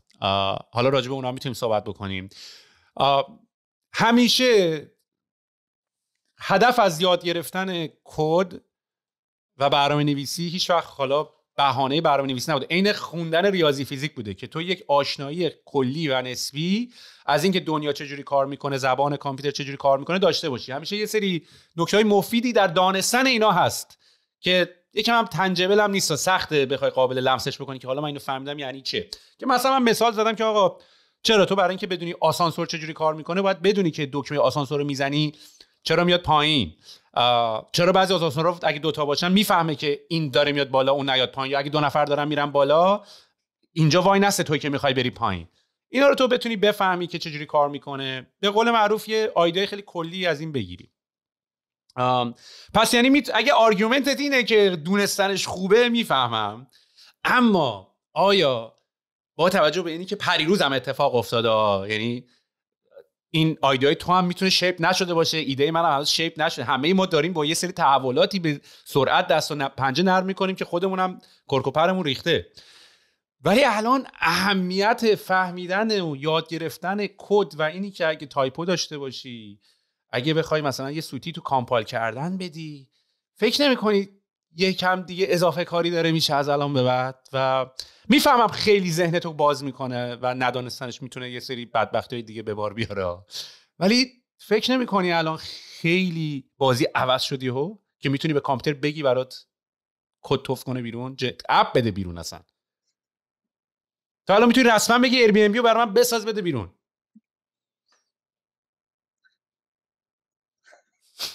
خیلی ChatGPT بودی خودت سوالو پرسید خودت هم جوابشو دادی؟ من اینجوری خب باشه من نه خب تو به عنوان کسی که الان یک اپلیکیشنی درست کردی که داره آموزش کد زدن رو موبایل میده چه احساسی داری؟ خب آره من من جواب دارم. من خیلی من جالب بود که مثلا قسمت جوابم خودت گفتی و اینا. مرسی سال خیلی خوبیه. من این سالم زیاد ازم راجع به قسمت مختلف پرسیدم. توی توییتر هم کلی نوشتم چه رشتو چه جواب چه اینا. ببین مثال نزدیک که می‌تونم بزنم. اینه که مثلا فرض کن دو و میدانی از زمان یونان باستان بوده. خب دو میدویدن بعد مثلا یکی اومد گفت که آقا ماشین اومد. مثلا دو چرخه اومد و فرش گفت ماشین اومد. پس فرش گفت مثلا بنز اومد. آدم می‌تونن با این سوارشن برسن به مقصد. چرا بدوین یه جوری شبیه اینه. ولی خب می‌بینی که خیلی هم می‌دونن. هم حالشون خوب میشه هم حالا کار مربوط به خودشون داره. ولی اون کسی که هدفش اینه که می‌خواد بره یه جایی برسه مثلا چه می‌دونم از سان فرانسیسکو بره لس آنجلس که نمیری بدوه. خب آره ماشین خیلی هم چیز خوبی اینم همینه. یعنی اگه که میگم هدف این باشه که سری فقط یه چیزی رو بزنم بره جلو خب آره مثل این قبلا می‌تونستی contractor بگیری مثلا دو ماه طول بکشه چه می‌دونم 200 دلار بهش بدی. الان مثلا ممکن 5 دلار بدی subscription یکی از اینا باید بسازه. یعنی اون اون اون تیکه فرقی نکرد ولی راجع برنامه‌نویسی سوالی که مثلا میان ازم زیاد می‌پرسن اینه که چه زبانی یاد میدی؟ و جواب ما اینه که زبان برنامه‌نویسی. چون خیلی هم مثلا اینجا که نه من پسر فلان کسی گفته که فلان زبان یاد بگیر. ولی جواب ما اینه که ما هدفمون آموزش مفاهیم پایه و فاندامنتال برنامه نویسی مثل تفکر منطقی حل مسئله دقت به جزئیات دیباگ کردن مثلا اینکه زیبایی کودلیتا اینه که برای اینکه همون اون درس اول رو پاس کنی باید چه می‌دونم صد خورده تا مسئله coding رو حل کنی. Codelita اصلا مسئله چهار گزینه یا نمی‌دونم yes و no فلان ابدا نداره. فقط باید کد بزنی. برای هر مسئله باید کد بزنی. واسه همین مثلا من میگم همون اون user ی که از بندر خمیر بود 1700 بار توی اون یک ماه این کد submit کرده. رفته درست کرده دوباره submit کرده. و چی رو با این طرف یاد می‌گیره؟ اون تفکر منطقیه رو. اون که چه جوری پس رو بتونه debug کنه. همین مثال Copilot و junior ی که زدی من توی شرکتی که چند وقت پیش چند ماهی بودم دقیقا ما یه developer junior داشتیم. دقیقا خوراکش Copilot بود یعنی میومد جلو ما میشست با Copilot میش و این یه جایی یه bug ی زده بود که ما یه chat room حالا برای یه سیستم بود یه chat room باید می‌داشتیم. ما جلوی CEO شرکت ما دموی نشون میدیم. یه chat room با 10 تا fake user 12 ثانیه طول می‌کشه تا این لود شه. و من و دو تا مثلا senior من و منیجرم و فلان همه نشستیم. تقریبا دو روز debug کردیم که ببینیم چه اتفاقی افتاد فهمیدیم که مثلا یه جا توی synchronicity اینا یه race condition ی اتفاق میفته که مثلا فلان function خوبه تو parent ش call بشه. یه همچین چیزی که کد غلط نبود ولی خب فهمیدن این که مثلا what the hell is going on و چه جوری باید باشه اون یه expertise ی می‌خواست. خب. حالا این یه قسمت داستان. یه قسمت دیگه این که آره ببین AI خیلی شغل ها رو replace خواهد کرد و داره می‌کنه. من راجع به اینم گفتم. گفتم که مثلا الان ویراستارها یه جوری دارن replace میشن تا یه اندازه با کمال احترام. یعنی خود چت جی پی تی و یه گرامرلی و دو تا از اینا بگیری بذاری کنار هم خیلی راحت کارت رو میده خیلی سریع هم خیلی ارزونه و خیلی راحت تا که بگی حالا یکی بیاد ویراستاری کنه و بعد بره و back forth فلان. ولی هنوز به اون مرحله نرسیده که نویسنده مثلا شکسپیر همینگوی replace بشه. یا جی کی رولینگ replace بشه. قطعا یه زمانی خواهد شد. ولی قضیه اینه که فرق هست بین خالق و تکنسیان کل حرف من اینه. تو اولش گفتی که برنامه یعنی اینکه زبان ماشین رو یاد بگیریم. اون میشه تکنسیان اون میشه مترجم اون میشه ویراستار. خالق اون کسیه که می‌تونه فکر کنه یه ایده بیاره بعد حالا اون ایده رو حالا چه می‌دونم مثلا متن هر جوری بنویسی ویراستار میاد اینو درستش می‌کنه ویرگول کامش هم درست می‌کنه به ولی اون خلق کردنه خب که به نظر من تفکر منطقی پشتشه دقت تا یه اندازه خوبی پشتشه حل مسئله پشتشه ظرافت پشتشه این اون چیزیه که به نظر من essence یه کسیه که به نظر من developer موفقه. یعنی من یه توییت هم فرق بین coder و programmer و developer و architect و اینا چیه؟ توی سایت کورا من 7 سال پیش جوابی دادم.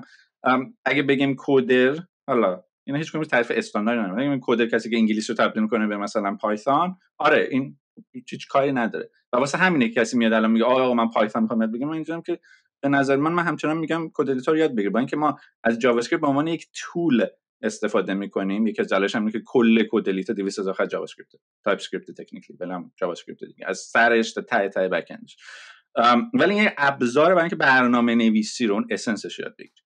یه آخرین نکته هم بگم چرا کد فرق داره؟ ببین مثلا شرط if توی برنامه نویسی یه چیزی که داره مثلا میگه if مثلا A بزرگتر از مثلا age بزرگتر از 18 بود پرینت کنین adult بعد یه چیزی که هست اینه که تو می‌تونی این حالا شرط ها رو and بذاری یا or بذاری بگیش اگر که مثلا این بود و این بود این کار بکنی. اگر این بود یا این بود این کار. بالای 60 تا ما curriculum برنامه نویسی این طرح درس برنامه نگاه کردیم.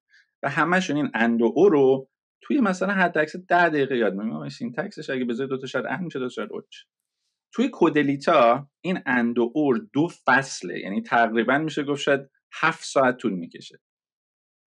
و بالای مثلا فکر کنم چه می‌دونم حدودا 80 تا درس و 30 تا مسئله فقط با اینه. چون essence برنامه نویسی اینه. یعنی فرق کدلیتا با اینکه حالا خب یه یوتیوب هست نمی‌دونم سایت هست نمی‌دونم این کتاب هست اینا همینه. که کاملا interactive ه و اون essence اون جوهره برنامه نویسی رو جا میندازه و اونقدر مثال می‌زنه از این. چرا؟ به خاطر اینکه خب من این سال درس دادم و دیدم آدما تو این and که گیر می‌کنه فهم خب مثلا not and میشه or به چه درد می‌خوره. مثلا چه جوری این شرط ها واقعا چه جوری کار می‌کنه؟ این random می‌زنن حالا درست می‌کنن با چت جی پی تی اینجا میندازی جلو چت جی اینو درست کنه. تفسیر نمیفهم که چی شد که این درست شد. ولی ما می‌خوایم اون essence رو یاد بدیم. و به نظر من AI خیلی شغل رو replace می‌کنه ولی کسی که بتونه خلق کنه شد آخرین کسی باشه که replace بشه. و ما می‌خوایم از اونها بسازیم. من کاملا با argument ت موافقم. راستش هم بخوای چون جفتمون با این موضوع موافقیم من بیشتر باید نقش devil's advocate رو بردارم که بتونیم بله. یه سری از بحثا رو با هم دیگه انجام بدیم و دوست هم دارم چون این سوالات سوالا یعنی الان تو position ی هم که جواب یه سوالا رو دوست دارم باهات پیدا کنم تا اینکه جواب آماده داشته باشم یه چیزی بگی جواب بدم. ببین مثلا منبع مثلا تو تو سایتت نوشتی anyone can code. هر کسی می‌تونه کد بزنه. با توجه به صحبتایی که با الان ما کردیم آیا ارزش این اپلیکیشن کد نوشتنه؟ یعنی شاید برای تو هم جالب باشه که یواش یواش مثلا این tagline رو بتونیم update بکنیم. چون منم الان این کارو برای وبسایت خودم خیلی دارم میری توی about ش همونجوری که داری حرف می‌زنی خب. نوشتی anyone can code. من حالا پس میخونمش. آره. زد نوشتی که claim تون ادعاتون از ساخت این اپلیکیشن اینه که we believe anyone with passion and perseverance can learn how to code and build unique software. هر کسی با کلی علاقه و پشتکار می‌تونه یاد بگیره که کد و کد بزنه و اپلیکیشن های خیلی unique و خاص درست بکنه. من قبول دارم با این قضیه. من اتفاقا یکم بازی روانشناسی طوره حتی برای من الان. یعنی من اینجام که انتخاب کلمه به کلمه tagline تون آیا الان ارزش توی کد زدنه یا ارزش توی ساخت ذهنی آماده از یه آدمی که می‌تونه یه سری مفاهیم رو بفهمه. چون مثالی که زدی منم همیشه میگم. من میگم می‌دونی AI مثل چی میمونه یا این no code tool ایی که اومدن مثل چی میمونه؟ مثل میمونه که تو قدیم با یه ماشین ماسل کار خفن می‌زدی تو دنده و خودت همه چیشو فاین تون کرده بودی و این داستانا ماشین خراب که می‌شد میومدی بیرون از ماشین کاپوتو می‌زدی بالا دست می‌کردی اون تو سیما رو بالا پایین می‌کردی راش مینداختی دوباره می‌رفتی. الان با این ماشین اتوماتیکا خراب شه باید بزنی کنار زنگ بزنی بیان. یعنی نکته نوکد اینه که تو برای اینکه پسش خیلی خوبه. آره ولی به خب آره تو نو... و, کسایی که ادعای نوکد طول می‌کردن که آقا می‌گفتن تو برای اینکه بخوای با ماشین رانندگی بکنی نیاز نداری بدونی ماشین چجوری کار می‌کنه. ولی خیلی ها اومدن اینجوری که باشه ولی من دوست دارم یعنی من این کنجکاوی رو دارم که بدونم ماشین چجوری کار می‌کنه. و فکر کنم اصلا عملا تمام ماهایی که رفتیم سمت این کارا از کنجکاوی شروع شد. آقا این چه جوری کار می‌کنه؟ من این اینسپک المنت اینو بزنم ببینم این چیکار کرده اون تو چی رو compile کردی. بنابراین فکر می‌کنی که این tagline جا داره عوض شه یا نه؟ Anyone can code. ببین قضیه اینه که دقت کنید tagline ه. یعنی مثلا سه چهار کلمه بیشتر نمی‌تونی بذاری اونجا. خب ما یه tagline سه کلمه ای داریم. یه ذره version بلندترش رو داریم. یه mission statement داریم. خب mission statement خیلی طولانیه. یعنی فکر مثلا سه خطه که یه ذره حتی مثلا ایراد هست که آقا اینو میشه کوتاه‌ترش هم کرد. anyone can code قشنگ نوشتیم که این ورژن کوتاه اینه که anyone with passion and perseverance can learn how to build software. خب. این قسمت passion و perseverance علاقه و پشتکار یه چیزی که اونقدر ما روش مانور میدیم یعنی تو خود درس ها تو مسیج ها تو همه جا. چون اون چهار سال شاید مثلا یکی از چیزا که همیشه موازی پیش می‌رفت که من از آدم می‌پرسم آقا یه آدم رندومی رو تو پیدا کنی؟ تو خیابون. و این بخواد program یاد بگه چی لازمه؟ و ما توی مثلا FAQ خیلی مفصل گفتیم که آقا اصلا ربطی ریاضی نداره programming. یعنی من خودم یکی از کسایی خیلی میجنگم با این قضیه. ببینید منطق و ریاضی یکم فرق داره مخصوصا اگه ریاضی منظور انتگرال تو به هیچ وجه لازم نیست انتگرال بلد باشی تا بتونی کد بزنی. خیلی خوبه. میشه یه مثلا همبستگی و correlation ولی ربطی نداره. مثلا لازم شاید مثلا nerd باشه. لازم شاید من عینکی باشه hoodie بذاری یا فلان و اینا. خب دو تا چیز لازم. مثل رسیدن به خیلی چیزای دیگه. یکی این که توی علاقه داشته باشه. یعنی بخوای بری جلو. اگه کسی علاقه نداشته باشه فقط اینجا من می‌خوام پول بگیرم. از این n هزار تا user ی که من دارم من هر روز دارم نگاه می‌کنم که آقا هر کسی کجاش میفته و به scholarship توضیح بدم. مثلا می‌تونم بفهمم که مثلا طرف از کجا اومده به چه اونی که passion داره میره جلو و پشتکارم اینه که اگه خوردی زمین اگه کدت ارور داشت فردا دوباره بیا. مثل بنده خدا مثلا 1700 تا submission کرده تا تونستی من دیدم مثلا روی مسئله طرف من 50 بار submit می‌کنه عوض می‌کنه میشه. این میشه perseverance میشه پشتکار این دوتا لازمه که هر کسی بتونه برنامه نویسی رو یاد بگیره و نه فقط با هدف مترجم شدن بلکه با هدف خلق کردن.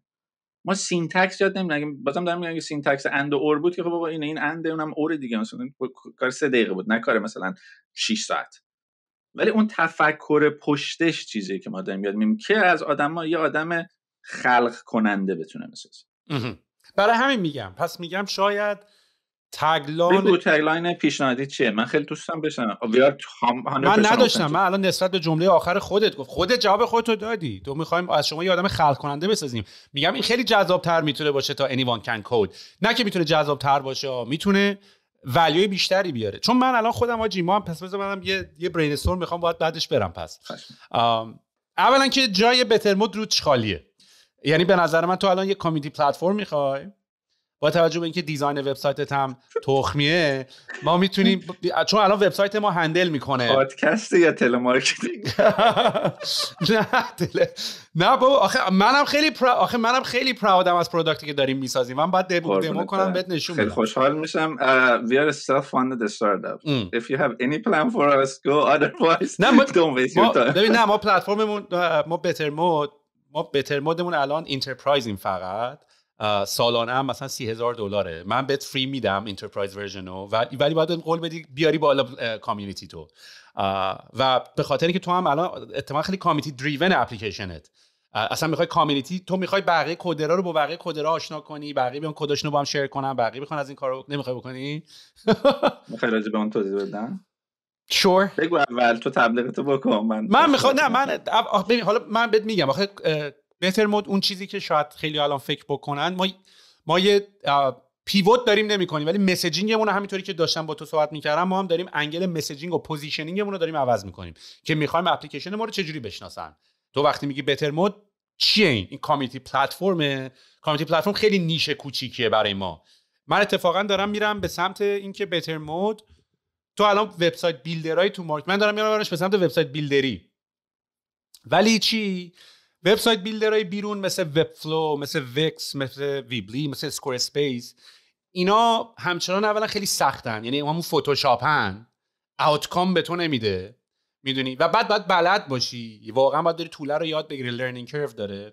و بعد هم این که همچنان tool یه که برای designer است مثلا Webflow کاملا niche ش designer است یعنی audience و customer ش مثلا خر اسم مثلا حالا Shopify entrepreneur ا نمی‌دونم ویکس بازم ویکس هم مثلا designer ها می‌دونی؟ Squarespace حالا گفته مثلا اگه می‌خوای یه store خیلی خوشگل پورتفولیوی حالا commerce اینا رو آورده چون به خاطر اینکه expand بخوام بکنن باید برن تو market های دیگه ما به جایی که من می‌خوام بگم out of the box وبسایت ولی وبسایتی که functionality داره. چون تو با این Wix و Webflow اینا کار می‌کنی نه CRM سی خیلی basic دارن ولی نه می‌تونی sign up کنی نه members management داره نه نه commenting system داره نه notification داره نه feed داره نه reaction داره نه tagging داره نه mention هیچی نداره. تو فقط داری یه صفحه استاتیک می‌گیری. در صورتی که ما تقریبا همه اینا رو ساختیم. moderation داریم نمی‌دونم سی داریم custom fields داریم badge system داریم همه اینا رو ما داریم. یعنی من اصلا می‌خوام اینو ببرنش به اینکه داداش این چی میریم می‌دونیم مثالی که برای تیمم internally می‌زنم؟ یه زمانی اون موقع که hobbyist ا PC و اینا فقط مال hobbyist ا بود و اینا تو باید می‌رفتی مثلا تو همون جایی که تو الان نشستی سان فرانسیسکو که یه سری hobbyist ا می اومدن و اینا یکی مثلا می‌رفت کیبورد می‌خرید یکی می‌رفت مانیتور می‌گرفت یکی مانیتور نبود تلویزیون خونه رو یارو وصل می‌کرد به یه مادربردی بعد وصل می‌کرد به یه کیبوردی برای اینکه input ش رو بگیره و اینا. و بعد کامپیوتر تقریبا اینجوری شکل گرفت. حتی زمانی هم که مثلا دیگه تقریبا سلطه دست ماکروسافت بود و نمی‌دونم IBM و اینا بود. نه Microsoft IBM و اینا بود. تو همچنان باید می‌رفتی تیکه تیکه های جدا میخریدی. بعد می‌رفتن تو ایران هم یادت سر هم باید می‌کرد. مانیتور می‌گرفتی اسپیکر می‌گرفتی. بعد یه طرز تفکر product ی اومد اپل که گفت آقا ما اینو خیلی باید approachable تر بکنیم. این باید خیلی دم دست تر باشه. این چیه این؟ اصلا میترسی این تیکه ها رو می‌بینی؟ اومد اون iMac رنگیه که transparent بود lucid رنگای خیلی خوشگل اینا داشت و اومد کرد توی جعبه. همه اسپیکر و اسپیکر و اینا رو همه هم کرد تو جعبه. transparent ش کرد توشو بتونی ببینی. یه handle هم حتی گذاشت بالاش که بتونی راحت اینو از جعبه بکشی بذاری بیرون. یعنی انقدر approachable و friendly ش کرد اینا تو اصلا از جعبه در بذار وصل کن به چیز. تو PC 6 تا جعبه می اومد و این سیم ها این توه نمی‌دونم هارت این توه اینا این توه این اینطوریش کرد. و این مثالیه که من اینجوریم که ما الان website builder ات market ش اینطوریه. یعنی هزار تا تیکه رو باید تو تف و بچسبونی به هم و بری اینو embed کنی تو اینو اینو بکنی تو اینو کد اینو script اینو بذاری تو اینو اینا. من الان دارم website builder out of the box از بکش بیرون وصل کن همه چی هم داری مجری. AI search دارم بهت میدم moderation AI بهت میدم notification system بهت میدم. Product Hunt تو باش درست کن. می‌خوای سیستم up vote داریم کلی template هم offer می‌کنیم. template شبیه Product Hunt template شبیه LinkedIn aspect های social مون خیلی قویه.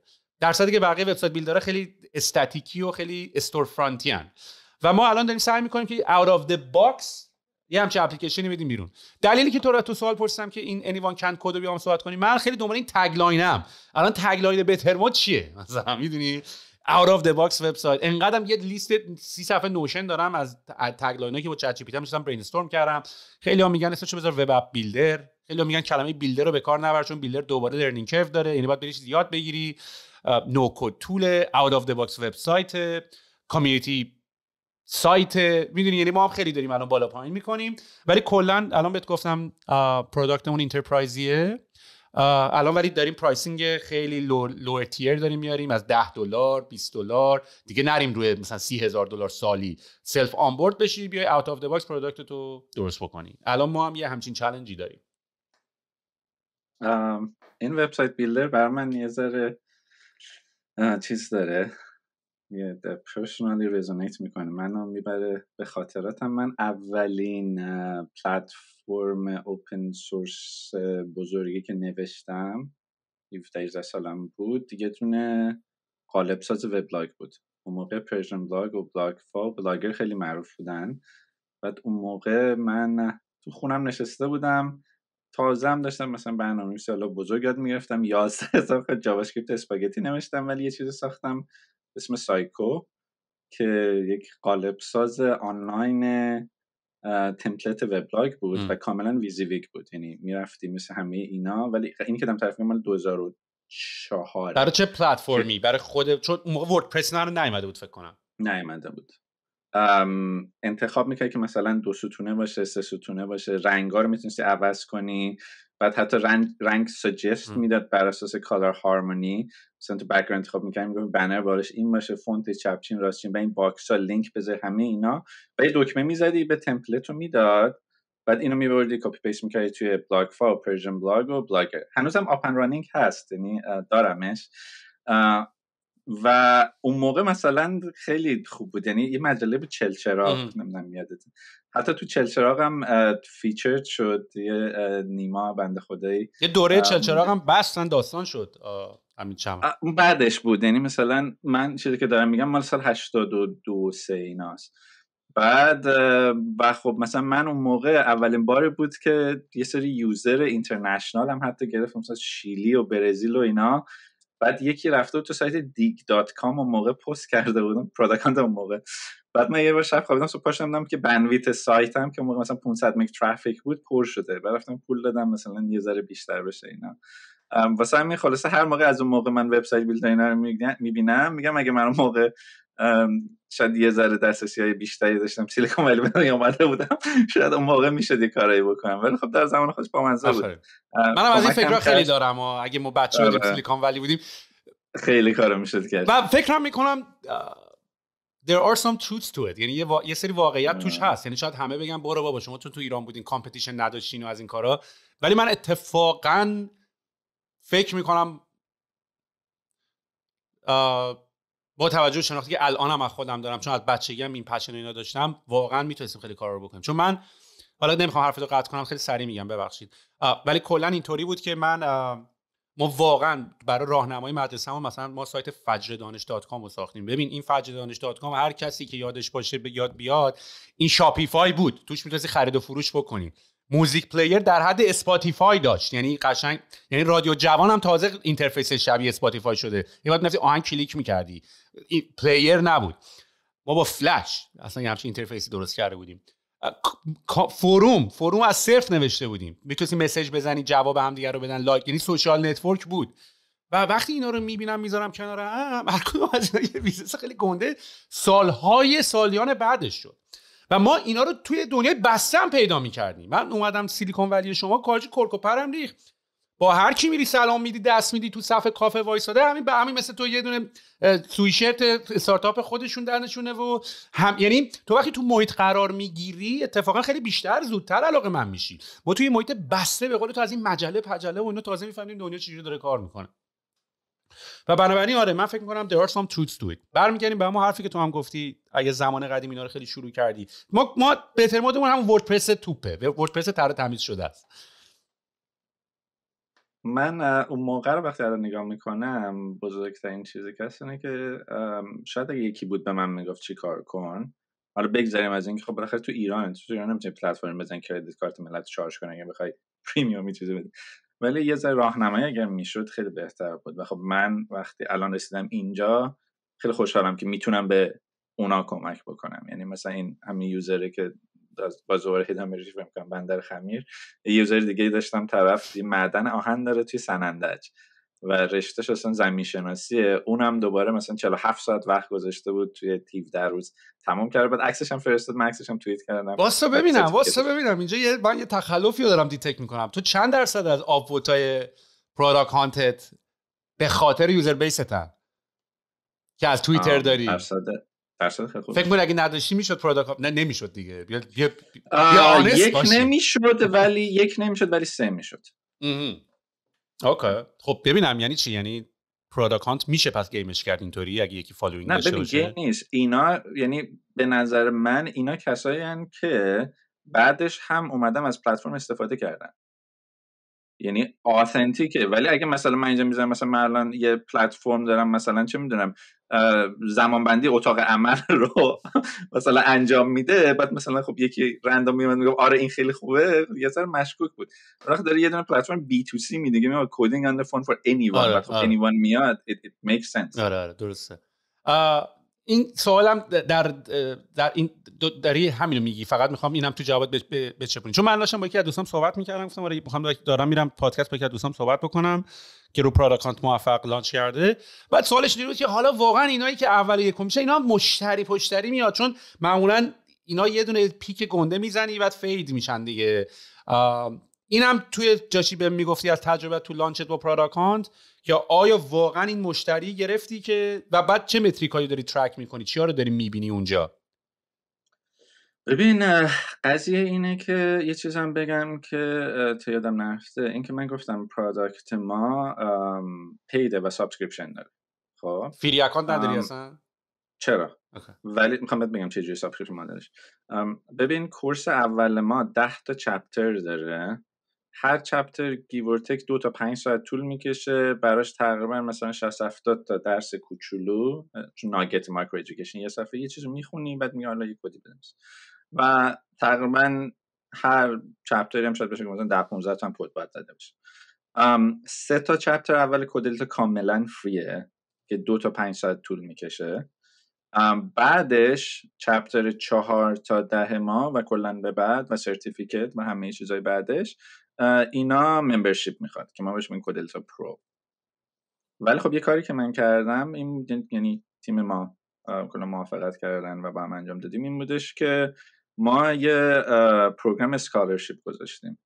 فارسیش میشه scholarship بعد بورسیه تحصیلی که Codelita dot com slash scholarship بدترش انتر ناجی من بعد میره تو مخم. enter شده انتر من اون چیزی که برام یکم سخت البته درسته ولی تو آمریکای سخته چیزه. hosting همه میگن hosting سایت تاسک گرفته. ولی hosting تلفظ حالا حداقل آمریکایش ولی اینی ها توی Codelita dot com اون پایین توی footer لینک scholarship هست. یا توی Codelita dot com slash scholarship این میره یه گوگل فرمه کسی پر کنه و بگه که من شرایطم اینه. سه چهار صفحه خیلی هم چیز عجیب غریبی نیست. و به این دلیل نمی‌تونم. ما تا حالا بالای 500 تا از اینا داشتیم. فرم کف‌خوابی من من من بی احترامی نمی‌کنم. چون مثلا خیلی از اینا بی احترامی نیست آخه. این title title ش دیگه.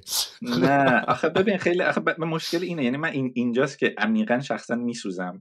مثلا طرف میگه مثلا اگر حالا ماهانه 15 دلار طرف میگه من حاضرم 750 تومن الان بدم. ولی خب تو ایران credit card نیست. مثلا خیلی الان من مثلا حساب ریالی داره یا نه. که اگر که من حتی شاید کانادا بودم یه سر راحت تر بود. ولی آمریکا با ایران از دو طرف مشکل هست. یعنی هم اون ور نمی‌زنن این ور نباید بگیر اصلا نباید transaction مالی نمی‌تونی داشته باشی. اصلا. واسه همین ما solution ی گذاشتیم scholarship و میگم تا حالا به بالای 500 نفر هم دادیم و هر کی بیاد اگر که واقعی باشه یه سرش هستن یه سری چیز عجیب غریبی هم توش می‌بینیم. ولی تقریبا میگم 90 و بالای 95 6 درصد ما همه رو میدیم ظرف 48 ساعت و می‌تونن ادامه بدن. و اکثر user ی که ما من مثلا 60 نفر تقریبا اون course اول رو گفتم اوریج 30 ساعت توی app. تموم کردن و خیلی هاشون خیلی happy و خیلی supportive و اینا.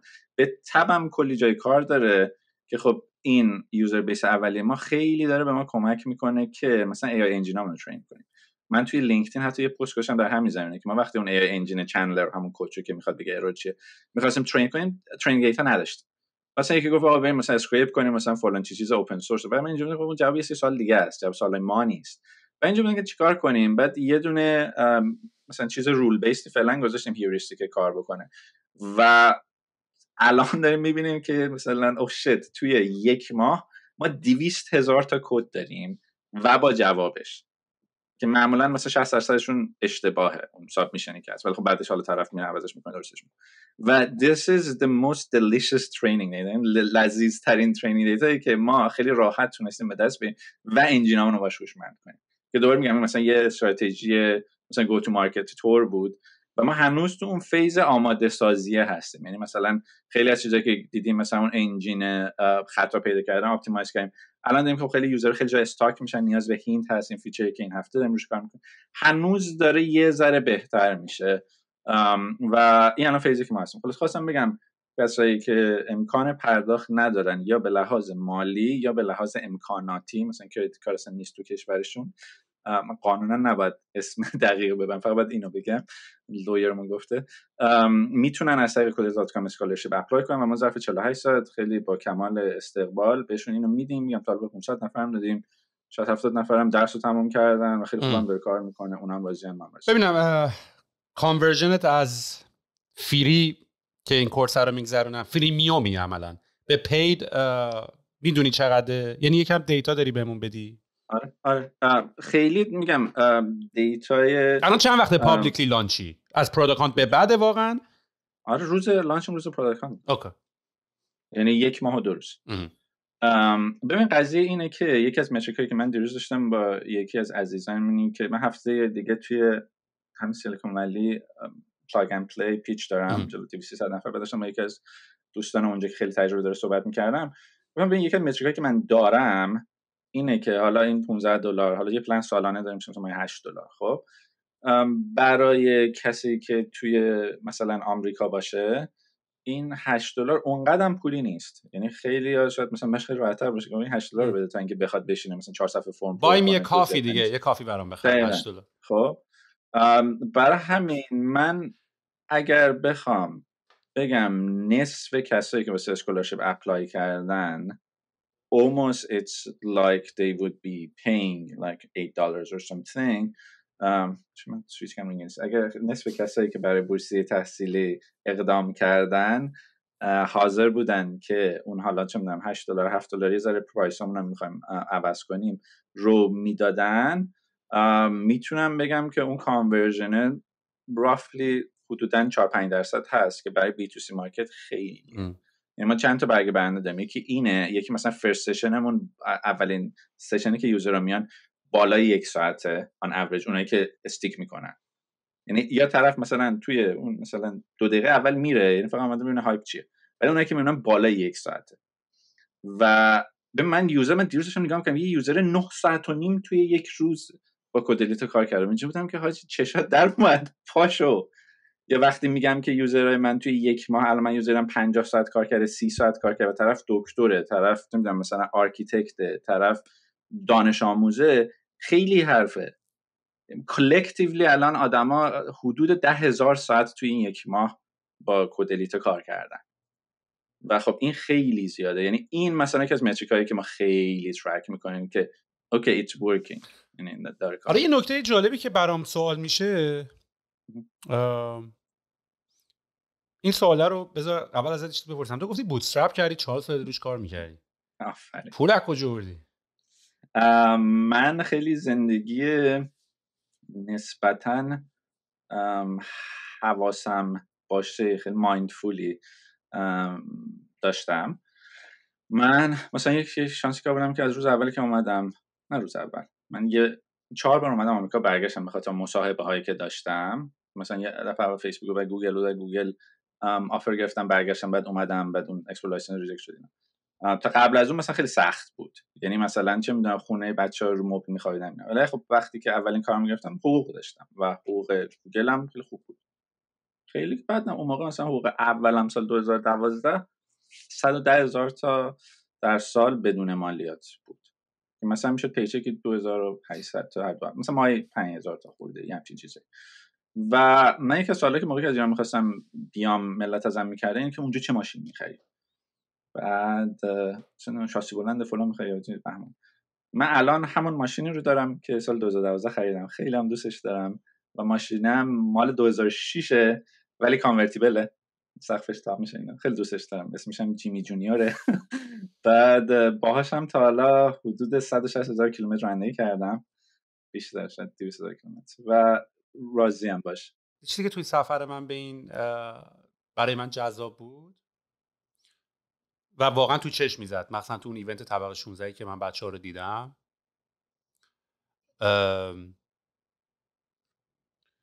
مقدار سلری بچه های تک اونجا بود. به شدت بالا بود. یعنی من اصلا با بچه ها صحبت می‌کردم چون من این سواله رو خیلی دایرکت از ملت می‌پرسم. مثلا بچ... مثلا یارو اومد می‌گفت من ماشین لرنینگ فیسبوک هم یارو می‌گفت من اسنپ هم چه همه برای بچه ها مشاهده تو همه کمپانی مشتی و بال که واقعا کانادا خیلی اینطوری نیست. می‌دونی؟ یعنی مثلا من بعضی موقع احساس می‌کنم چقدر من باید بیام اونجا چون احساس می‌کنم خیلی خیلی احساس راحتی بیشتری اونجا داشتم تا تورنتو کانادا. حتی سوال آخرم آخر آخر اینه که ما بیایم یا نیام؟ چون با, با توجه به اتفاقی که تو اسف داره میفته ولی خیلی برای من جذاب بود. حالا معمولا وقتی اونجا ما می‌پرسیم ملت می‌گفتن 300 400 500 حتی یه نفر گفت 700 و من فکر کنم اینا داشتن compensation package اشون رو می‌گفتن آره. total compensation یعنی با share و با نمی‌دونم تمام این دا bonus و این داستان داشتن. می‌گفتن ولی باز بالا بود. ببین کانادا که من هستم اینجا دیگه تو 105 200 حالا الان یکم بعد از این کووید و اینجوری شده. الان ولی 200 خیلی دیگه تاپ تیره یعنی مثلا 150 160 107 170 ولی تازه دلار کانادا 30 درصد ارزونتر از دلار یو و من یه مقدار اینجوری هم که ولی خب می‌خوای از اون می‌خوای ادعا کنی هزینه بالاتره ولی باشه تورنتو از همچین ارزونتر از نیست. اصلا حتی من می‌تونم ادعا کنم گرونتره. خونه و مونه و همه اینا. و این خیلی تو چشم زد. واسه همین چون من می‌دونم دیگه من الان انقدر تو کامنت ها و اینا بعضی موقع دیدم الان ملت میان میگن داداش تو همین که می‌تونی چهار سال بدونی که کار کنی پول داری تو بچه مایه داری. می‌دونی؟ چون همه paycheck to paycheck هم. می‌دونی؟ یارو مثلا امروز کار نکنه فردا گیر هشتش گرو نهشه. کجا؟ ایران. آه آره. آره. ولی عملا آره مثل که میشه اینجا یه saving ی کرد و خیلی هم هزینه نکرد. به اصطلاحش میگن living under your means دیگه. زیر احتیاجت زندگی کنی. Live within your means. آره, آره. within your means یکی از فلسفه‌ای که آره من داشتم و ولی زندگیم اوکی بوده. یعنی مثلا مشکل عجیب غریب مثلا صندلی ماساژ من خریدم 2500 دلار چون به نظر میصرفید ولی از اون ور مثلا چه می‌دونم جنس آنلاین می‌خوام بخرم اونقدر کوپن می‌زنم مثلا یه 50 درصد یه 10 درصد از اینجا بعد یه cashback بعد یه دونه RetailMeNot بعد یه دونه مثلا rewards point خود طرف. مثلا حواسم به این چیزا هست. خب یه ذره به عدد این چیزا علاقه دارم. ولی خب saving هم بود. یعنی اون از سال 2012 تا 2019 کار که می‌کردم saving هم بود. آخراش هم پولم خوب بود. یعنی مثلا 2019 به من حالا این اخیرا هم میگم یه چند ماهی پارسال رفتم یه شرکتی کار کردم. مثلا اونجا من کش سالریم 400 بود. یعنی حقوق پست تکس کش مقداری که بعد از مالیات میومد تو حسابم مایه 20000 دلار که خب خیلی خوش میگذشت. عالی بوده. تو چه سالی؟ پارسال. پارسال. با ما تا سی درصد تکس داره کانادا تازه. نه این, میگم دیگه 400 پست تکس کنی. آره 400 تا رو تقسیم 12 کنیم مثلا میشه چقدر؟ میشه 32000 تا. قبل از مالیات بود که تقریبا 12000 تا مالیات کم شد 20000 درمیومد ولی خب من از اون درآمدم می‌خواستم که Codelita رو داشتم می‌خواستم که دوستم دنبال رویام برم آره. اون آدمی که البته این حرفو می‌زنه این saving رو هم داشت بعدش نمی‌رفت app بزنه. همچون میشاشید تو saving ش که دیگه اصلا اون argument آخه اون آدمی که این بحث می‌کنه آدم غلطی اصلا. می‌دونی؟ anyway یه سوال پروداکتی دارم ازت. چون منم خودم تایپم پروداکتیه جدا از ساختن بحث کدلیته و کدلیتا کدلیته خیلی میگه کدلیته سلیته است مگه؟ کدلیتا کدلیتا کدلیتا نه کدلیتا دارم میخونمش ولی اینجا هیچ کدلیتا نباید بخونیش. توی افیکی اصلا یک چیزاش اینه که آقا این کجا آمده لیتا از لیتل هم میاد به معنی کوچولو. بعد یک چیز با مزه اینه که توی ساینا وقتی کسی رجیستر می‌کنه مثلا چه می‌دونم اسمش اگه چه می‌دونم سهیله همون توی ساین اپ صفحه سوم میگه که یه نیکنیم می‌خوایم حد سولیتا. مثلا سوللیتا خب بعد توی بدنه درسای میگه سوللیتا این کارو بکن. سوللیتا می‌خواست بره خرید. خب و از این نیکنیمی خیلی استفاده می‌کنه. واسه اون لیتا اون حس کامیونیتی رو میداره.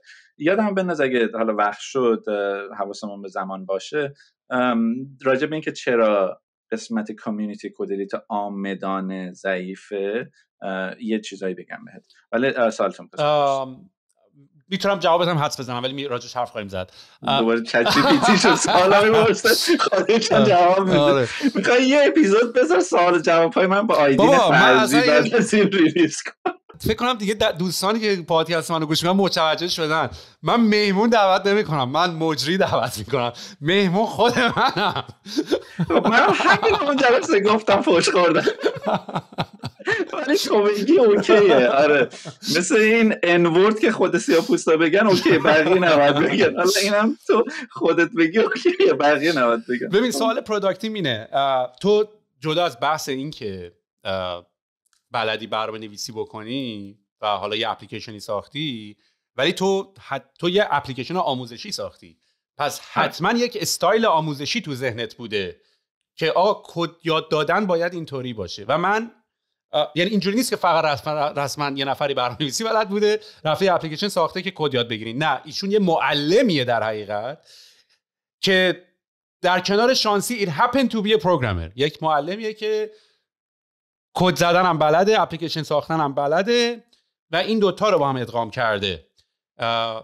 و من الان و من اپلیکیشن هایی که جدیدن این سویه رو برداشتن رو خیلی دوست دارم. من باب مثال یه اپلیکیشنی هست به اسم Linear که issue tracking اپلیکیشنه.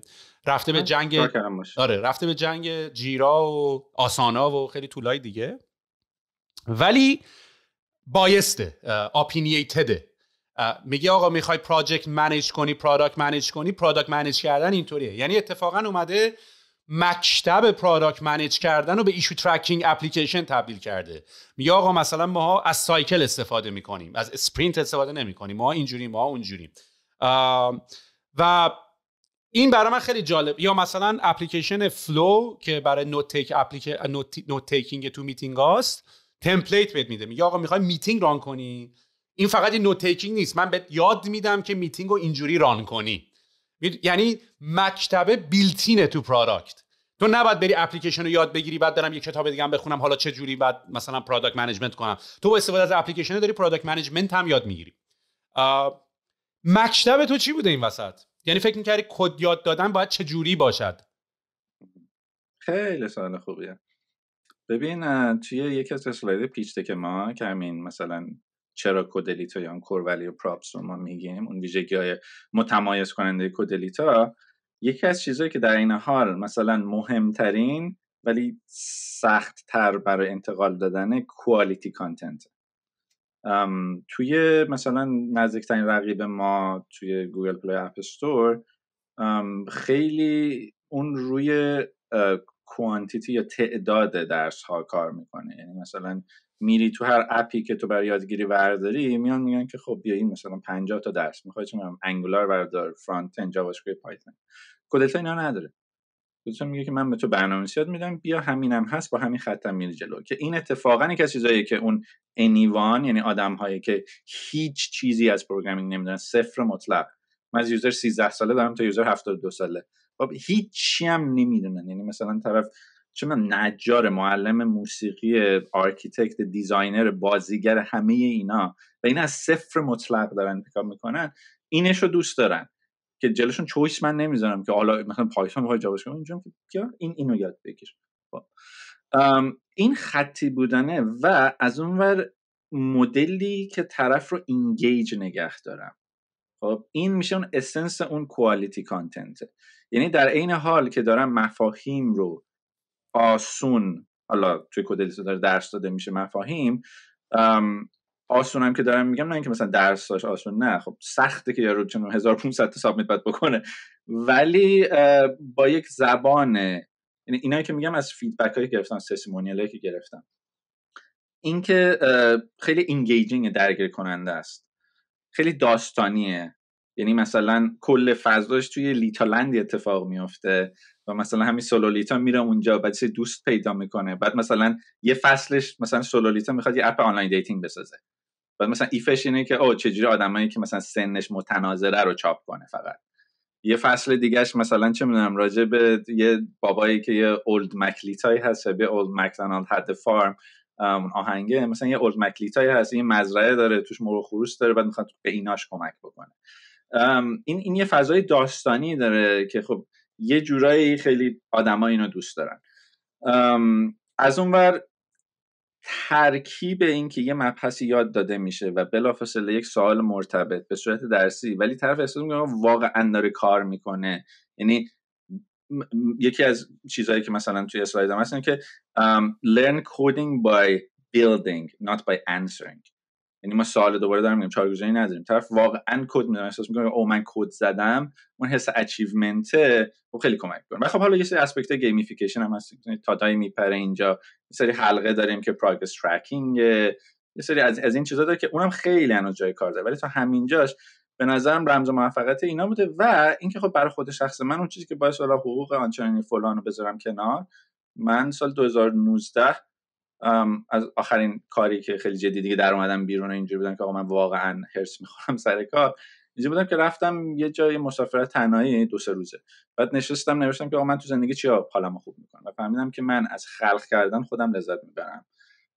education learning و teaching همیشه passion من بودم 14 سال دیگه درس می‌دادم. بعد یا مثلا سر المپیاد چون سه سال مسئول دوره و اونقدر سوال طرح کردم تو المپیاد تصحیح کردم درس دادم همه اینا. دوست دارم. اون حس توانمندسازی رو دوست دارم. من وقتی می‌بینم که الان ماکدیز آدم دارن توانمند میشن و empowerment اون چیزی که من قلبا خوشحال می‌کنه و نهایتا هم که product و B2C و user و data خب این این چیزایی که خیلی دوست دارم. یعنی مثلا 200 هزار تا submission اینجا هست که میشه باش کلی چیزا بهتر این نقطه این سه تا شد کودلیتا که واسه من خیلی حال داد و وقتمو گذاشتم روش واسه کم بهترین مدل یاد دادنم کار کنم. بعد اینم بگم. دوباره بگم با اون چهار سال. اون بعد گفتم یک سال آخرش user research بود. ما یه سری درسامون 23 بار نوشتیم سوال یعنی کلمه به کلمش مثلا یاد دادن مفهوم متغیر تو برنامه‌نویسیت می‌خوای این مثلا میشه cars مساوی 17 این cars ه چیه؟ خب که بگیم این ظرف این 17 میره توش بعد بعدا می‌تونی بخونی بنویسی اینا. به کسی که هیچ شهودی نداره. یعنی ما حدود مثلا چه می‌دونم صد و خورده فقط user alpha ما داشتیم که با اینا ساعت ها ویدیو research می‌کنیم و وقتی طرف متن رو میخون توی گوشیش ما نگاه می‌کنیم به چشای طرف که الان از این چی فهمیدی؟ که به اینجا برسه. چون اگر این ما می‌خواستیم همون version بسم الله الرحمن الرحیمش رو بدیم بیرون خب قطعا همه اون user ایی که اونجا کلی confuse میشن گیج می‌شدن همه اینا خب الان میومدن از product میومدن تو زارت مثلا خلاصیده می‌شدن چی میگن میافتادن زمین از بین می‌رفتن. نه اینکه بیان مثلا 50 ساعتی رو ادامه یعنی یکی از رمز های موفقیت این بود که اون کاری رو کردیم که توی کتاب های استارتاپ و پادکست ها و همه اینا میگن نکنین که بشینین آقا خیلی optimal این به خاطر ظرافت های مدلش ما تصمیم گرفتیم این کاری رو بکنیم که رایج نیست.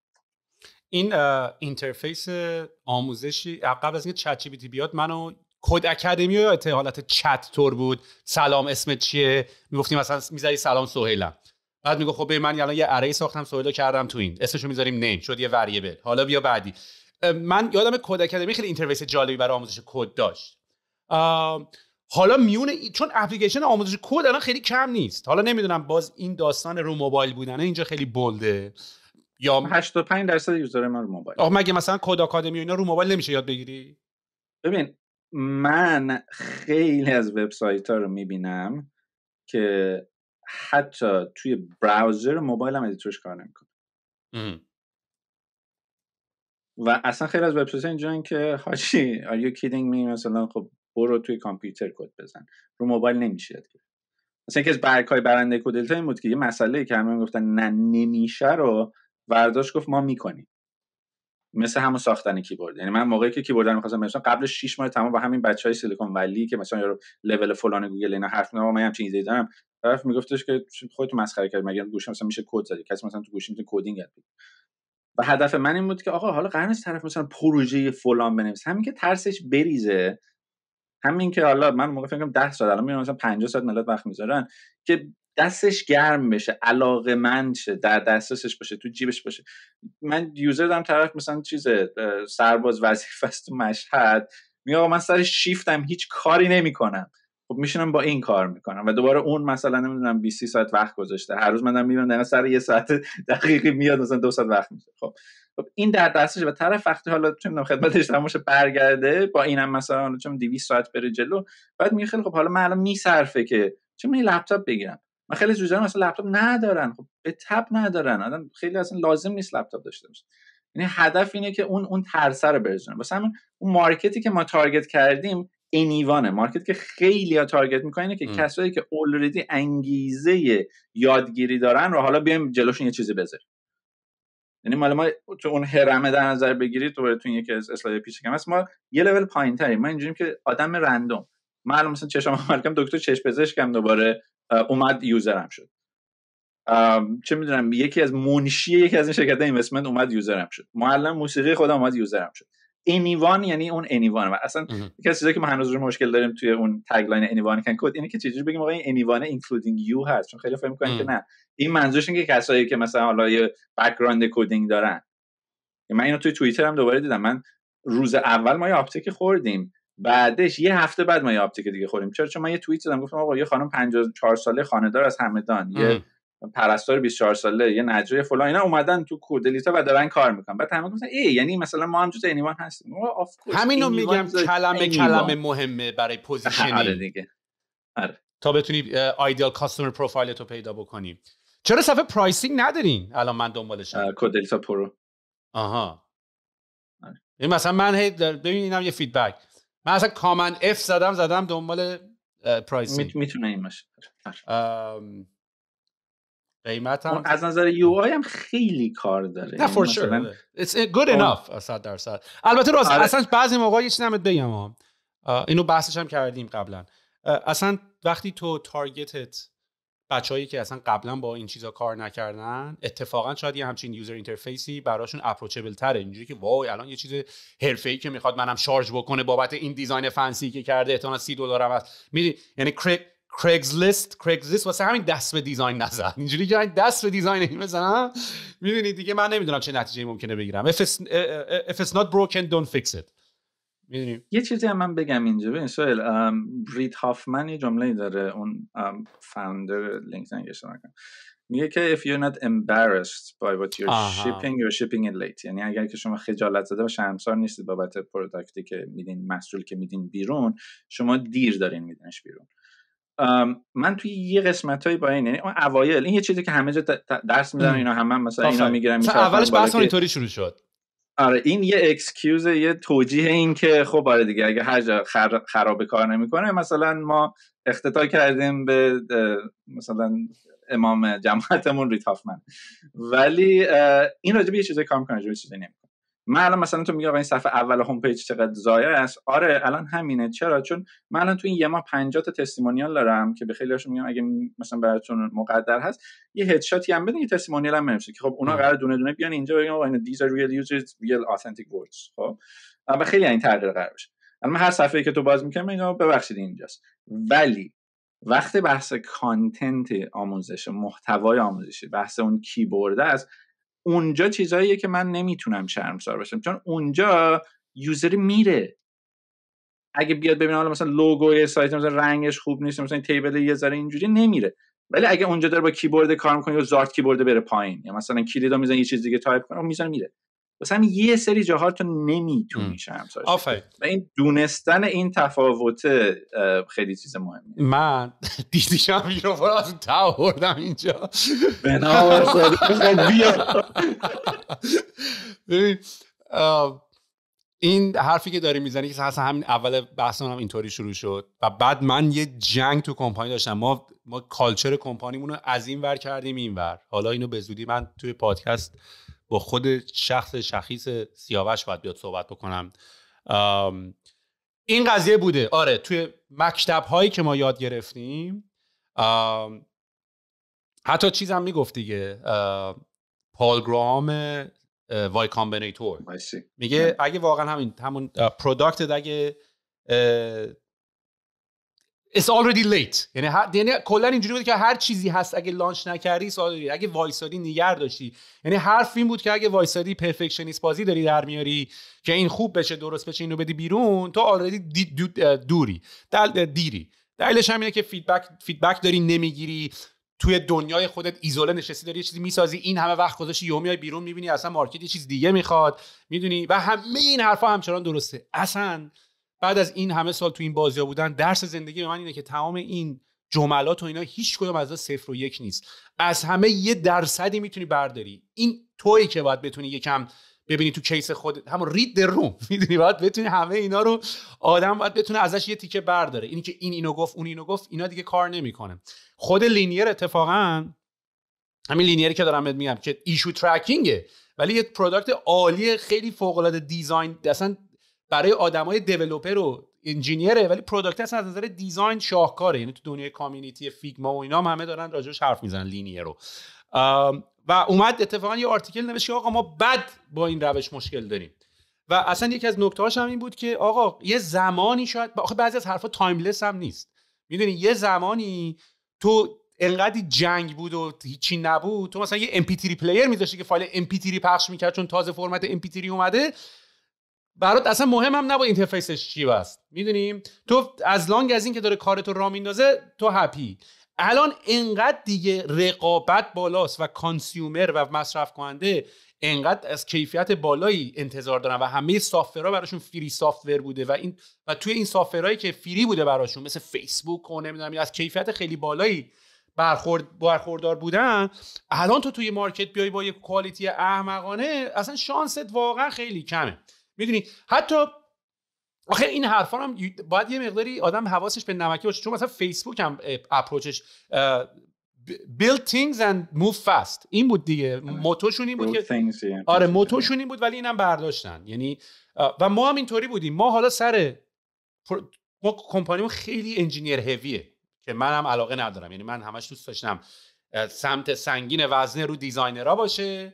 که پیدا نمیشه راستش رو بخوای. یعنی انقدر ما هم با designer انقدر اینم حالا داستان دارم. مثلا من یه designer ی که واقعا عشق کنم با طرز تفکرش با کارش با نحوه فکرش با احساسش هنوز پیدا نکردم. واسه همین ما تقریبا 15 20 نفر کمپانیمون همه یعنی تیم product مون همه engineer هم 20 نفرش. و با همین approach رفتیم جلو. آقا product buggy. بده آقا بده بده مشتری می‌فهمه به ما میگه می‌فهمیم. ببین یعنی ما هرچی product هرچی ما تیم sales مون فروخت و همه سر دو ماه churn و همه هم اینجوری که churn چرا churn دارم تیم خودمون رو مسخره می‌کنم عملا. churn چرا churn حتما این feature رو نداریم. بریم AI بزنیم. بریم اینو بزنیم. میگم داداش تو بین tab عوض کردن page ات یه ساعت و نیم طول می‌کشه لو تایمت. تو برات سوال churn چرا داریم؟ این دکمه پسته داره کار نمی‌کنه. برات سوال churn چرا داریم؟ می‌دونی؟ و وقتی اینا رو ادرس نمی‌کنی میری توی یه دنیای دیگه. یعنی شروع می‌کنی صورت مسئله رو اشتباه طرح کردن solution ات برای حل مسئله هم کاملا اشتباهه و اصلا من من من خیلی اپلی ام می‌دونی؟ باید اپ باید اگه درست بسازیش کسی که داره product استفاده می‌کنه عشقی که تو product تو گذاشتی رو می‌فهمه. می‌دونی؟ اینو اینو من خیلی احساسش می‌کنه. متوجهش میشه. اون product آره. و برمیگردیم. آخه مثلا اینم بود دیگه. مثلا برمیگرده به همون داستانی که حتی یه product ی بساز که خیلی آدما دوستش دارن. یه product ی بساز که تعداد آدم خی... تعداد آدم کمی love ش می‌کنن. می‌دونی؟ که اصلا کلمه MVP هم تبدیل شد به مثلا most viable product شد most lovable product. می‌دونی؟ و جانی آیو من یک کتاب داشتم ازش میخوندم. اینطوری بود که جانی آیو designer اپل. اینجوری بود که ممکن بود ما همدیگه رو ندیده باشیم من نزدیک با هم دست بزنیم. ولی با همدیگه ارتباط برقرار کردیم. نحوه ارتباط برقرار کردن ما طریق product بوده. حتما نباید با تو میومدم شفاهن صحبت می‌کردم. به من الان این پادکست برای من یک میدیوم جدیدیه برای ارتباط با با user ام ولی من از قبل این ارتباط رو از طریق ساخت product با یه سری دیگه داشتم. می‌دونی یه manifestation هم از یه طرف دیگه ای بود. و الان این manifestation داره حالا با یه فرمت دیگه اضافه میشه. که شاید یکی دلیلی که مثلا مثلا آرتیست ها دوست دارن. ببین معمولا دیدی مثلا آرتیست ها کارهای مختلف می‌کنن. یا بازیگری می‌کنه خوانندگی می‌کنه. به مهران مدیری یه بار پریدن. گفتن شما همون بازیگری تو بکن. نمی‌خواد خوانندگی بکنید این آدما متوجه نمیشن که اگر آرتیستی دوست داری از اشکال مختلف خودتو منیفست کنی. ممکنه توی کاری عالی باشی. واسه همینه که مایکل جردن بعد از اینکه بسکتبالش رو گذاشت کنار رفت شروع کرد فوتبال بازی کردن. فوتبال آمریکایی. و می‌بینی آدمای مختلف یا پژمان جمشیدی بود. اگر آرتیست باشی اگه performer باشی می‌خوای تو فرمت های مختلف اینو نشون بدی. برات هم اصلا مهم نیست. برای خودته. خودتو داری میسنجی. ممکنه تو و چون از یه جای دیگه لاو الان به من میگن سوئیل بیاد دیگه پادکستش رو ادامه بده. نه داداش من دارم کارمو برای خودم می‌کنم. می‌دونی؟ من اصلا فرمت ارتباط برقرار کردنم با آدما با یه با یه فرمت دیگه است. حالا پادکستم روش. چه نکته برداشتم من اینجا؟ حرفاتو خیلی دوست داشتم.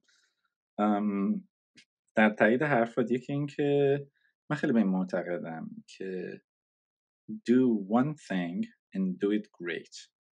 یه کار انجام بده ولی خیلی خیلی خوب انجامش بده. معناش این نیست که حالا کارهای جانبی و هابی و تفریح و اینا نداشته باشه ولی اگر که می‌خوای انتخاب کنی تو زندگی یه کاری رو بردار ولی اونو با عشق انجام بده اونو با علاقه انجام بده اونو با پشت انجام بده همه چیز تو بذار. چون به نظر من حالا این بحث ای آی اینا رو یکی از یه مدل نگاه و روی کردش می‌تونیم باشه که بگیم داره میاد سیل میاد هممون رو برسونم می‌کنه ولی مدل دیگهش اینه که کار خوبی که انجام میده اینه که کلی آدم و کار و جاب میدیوکر رو با کیفیت متوسط رو این میبلعه. یعنی الان مثلا مثال ویراستار رو بگم خب ویراستار یا کپی رایتر معمولی خب چت باشه جایگزین میشه. ولی اونی که خیلی خفن حرفه یه می‌دونه که این کلمه مثلا کلیک خورش ده برابر کرد اون میمونه. یعنی این top بودنه خب؟ یعنی خودتو برسون به اون بالای اون قله مثل طوفان نوح که اومده بود. این اون نکته ایه که به نظر من خیلی خوبه که توی اون top بودنه و obsession quality رو داشته باشه. این خیلی خوبه. دو تا نکته دیگه هم یکی اینکه یه مستندی توی نتفلیکس اومده Big Vape هم دیدی یا نه؟ مال Juul ه این سیگار الکترونیکیه.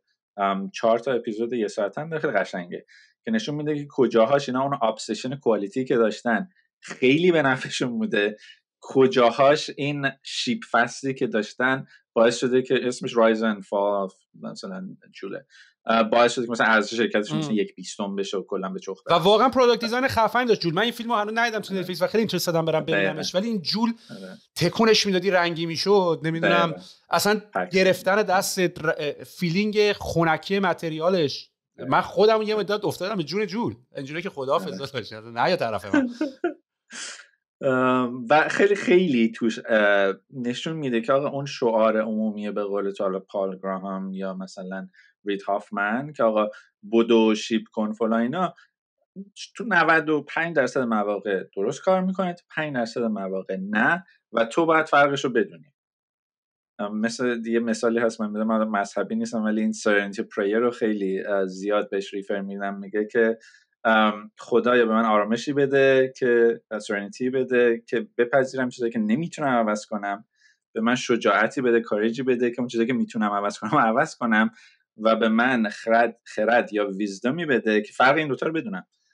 اینم همینه. اینکه تهش اون خرده رو wisdom می‌خواد که آقا کجا؟ من باید اون وسواس کیفیت رو برم و 5 درصده کجا نه 95 درصده که حالا ببخشید دیگه ببخشید مثلا صفحه مثلا pricing اون اسمش حالا این نیست. آره چشم درستش می‌کنم. چیز عجیب غریبی نیست. آخر حرفم که می‌خوام بزنم اینه که ببین هر استارتاپی مخصوصا استارتاپ هایی که حالا اوایلش یعنی تغییر میدن یا همین این پلتفرم شما ببین شما یه سری hypothesis داری یه سری فرضیه داری. خب؟ تو دنبال اینه که ببینی این فرضیه آیا درست هست یا نه و اینا رو validate کنی. اگر بتونی اینا رو ارزون validate کنی خب به نفعته. ولی یه سری از اینا هم نیاز داره که تو برای اینکه بتونی اون validate کنی اون اعتبار سنجی بکنی بدونی درسته یه سرمایه گذاری زیادی بکنی. مثلا برای ما validation چی بود که آیا آدما می‌تونن توی گوشی کد بزنن؟ خب version prototype اول اون کیبورد Codeyboard رو میذاشتی خب افتضاح. مثلا یه contractor آوردیم به گفت ما خب بیا بشین روی این کار کن. طرف یه چیز نوشته shit بود. اصلا نمی‌شد باش کار کرد. خب؟ و حالا یارو هم رفت. ولی خب اون اگه میذاشته جواب نبود. ولی خب این product ی که ما مثلا سه ماه وقت گذاشتیم مثلا pixel by pixel این برای literally pixel perfect. که این curve این چجوری باشه سایش چجوری باشه میره صفحه دوم چجوری باشه ما وقت گذاشتیم. خب این الان فرق داره که آیا فرض ما این بوده که آیا هر آدمی با هر کیبوردی می‌تونه کد بزنه توی گوشی یا نه؟ با یک کیبورد درست. مثلا این جزء اون فرضیه‌ای بوده که برای رسیدن و اثبات کردنش نیاز به سرمایه‌گذاری داشته. یا مثلا دوباره یکی از فرضیه ما این بود که آیا آدما می‌تونن مثلا توی گوشی با این پلتفرم‌ها با این قسمت حالا داستانش و بامزگیش و gamification ش و اینش ادامه بدن یا نه؟ و مثلا اینم دوباره چیزایی بود که توی اون MVP تونستیم بریم جلو. الان مثلا که فرضیه اینه که آیا آدم حاضرن پول بدن برای این؟ این یکی از چیزایی که داریم همچنان روش آفر کار می‌کنه ولی اون ستای اول تا اندازه خیلی خوبی یعنی خوشحال یک ماه ما این بود که آقا یه سری فرضیه که ما داشتیم. مثلا شخص من 70 درصد نسبت بهش مطمئن بودم. اون کسایی که منتقد من بودن 20 درصد. الان وقتی عدد می‌زنم جلوش میگم آقا 20000 تا 200000 تا کد اینجا هست. من خودم 98 درصد مطمئنم اونا مثلا مثلا به 80 درصد. تو دنبال این ولیدیشنه حالا این ولیدیشنه رو اگه می‌تونی از اون به دست بیاری خب به دست بیاری اما اگر نه بدون دنباله چون اون خرد این که بدونی. من دقیقا اون استیتمنتی که می‌خوام بگم true or false چیه و دنبال این برو. feature اضافه کردن جواب استارتاپ نیست. یعنی که تو hypothesis رو بدونی و بدونی که آقا من می‌خوام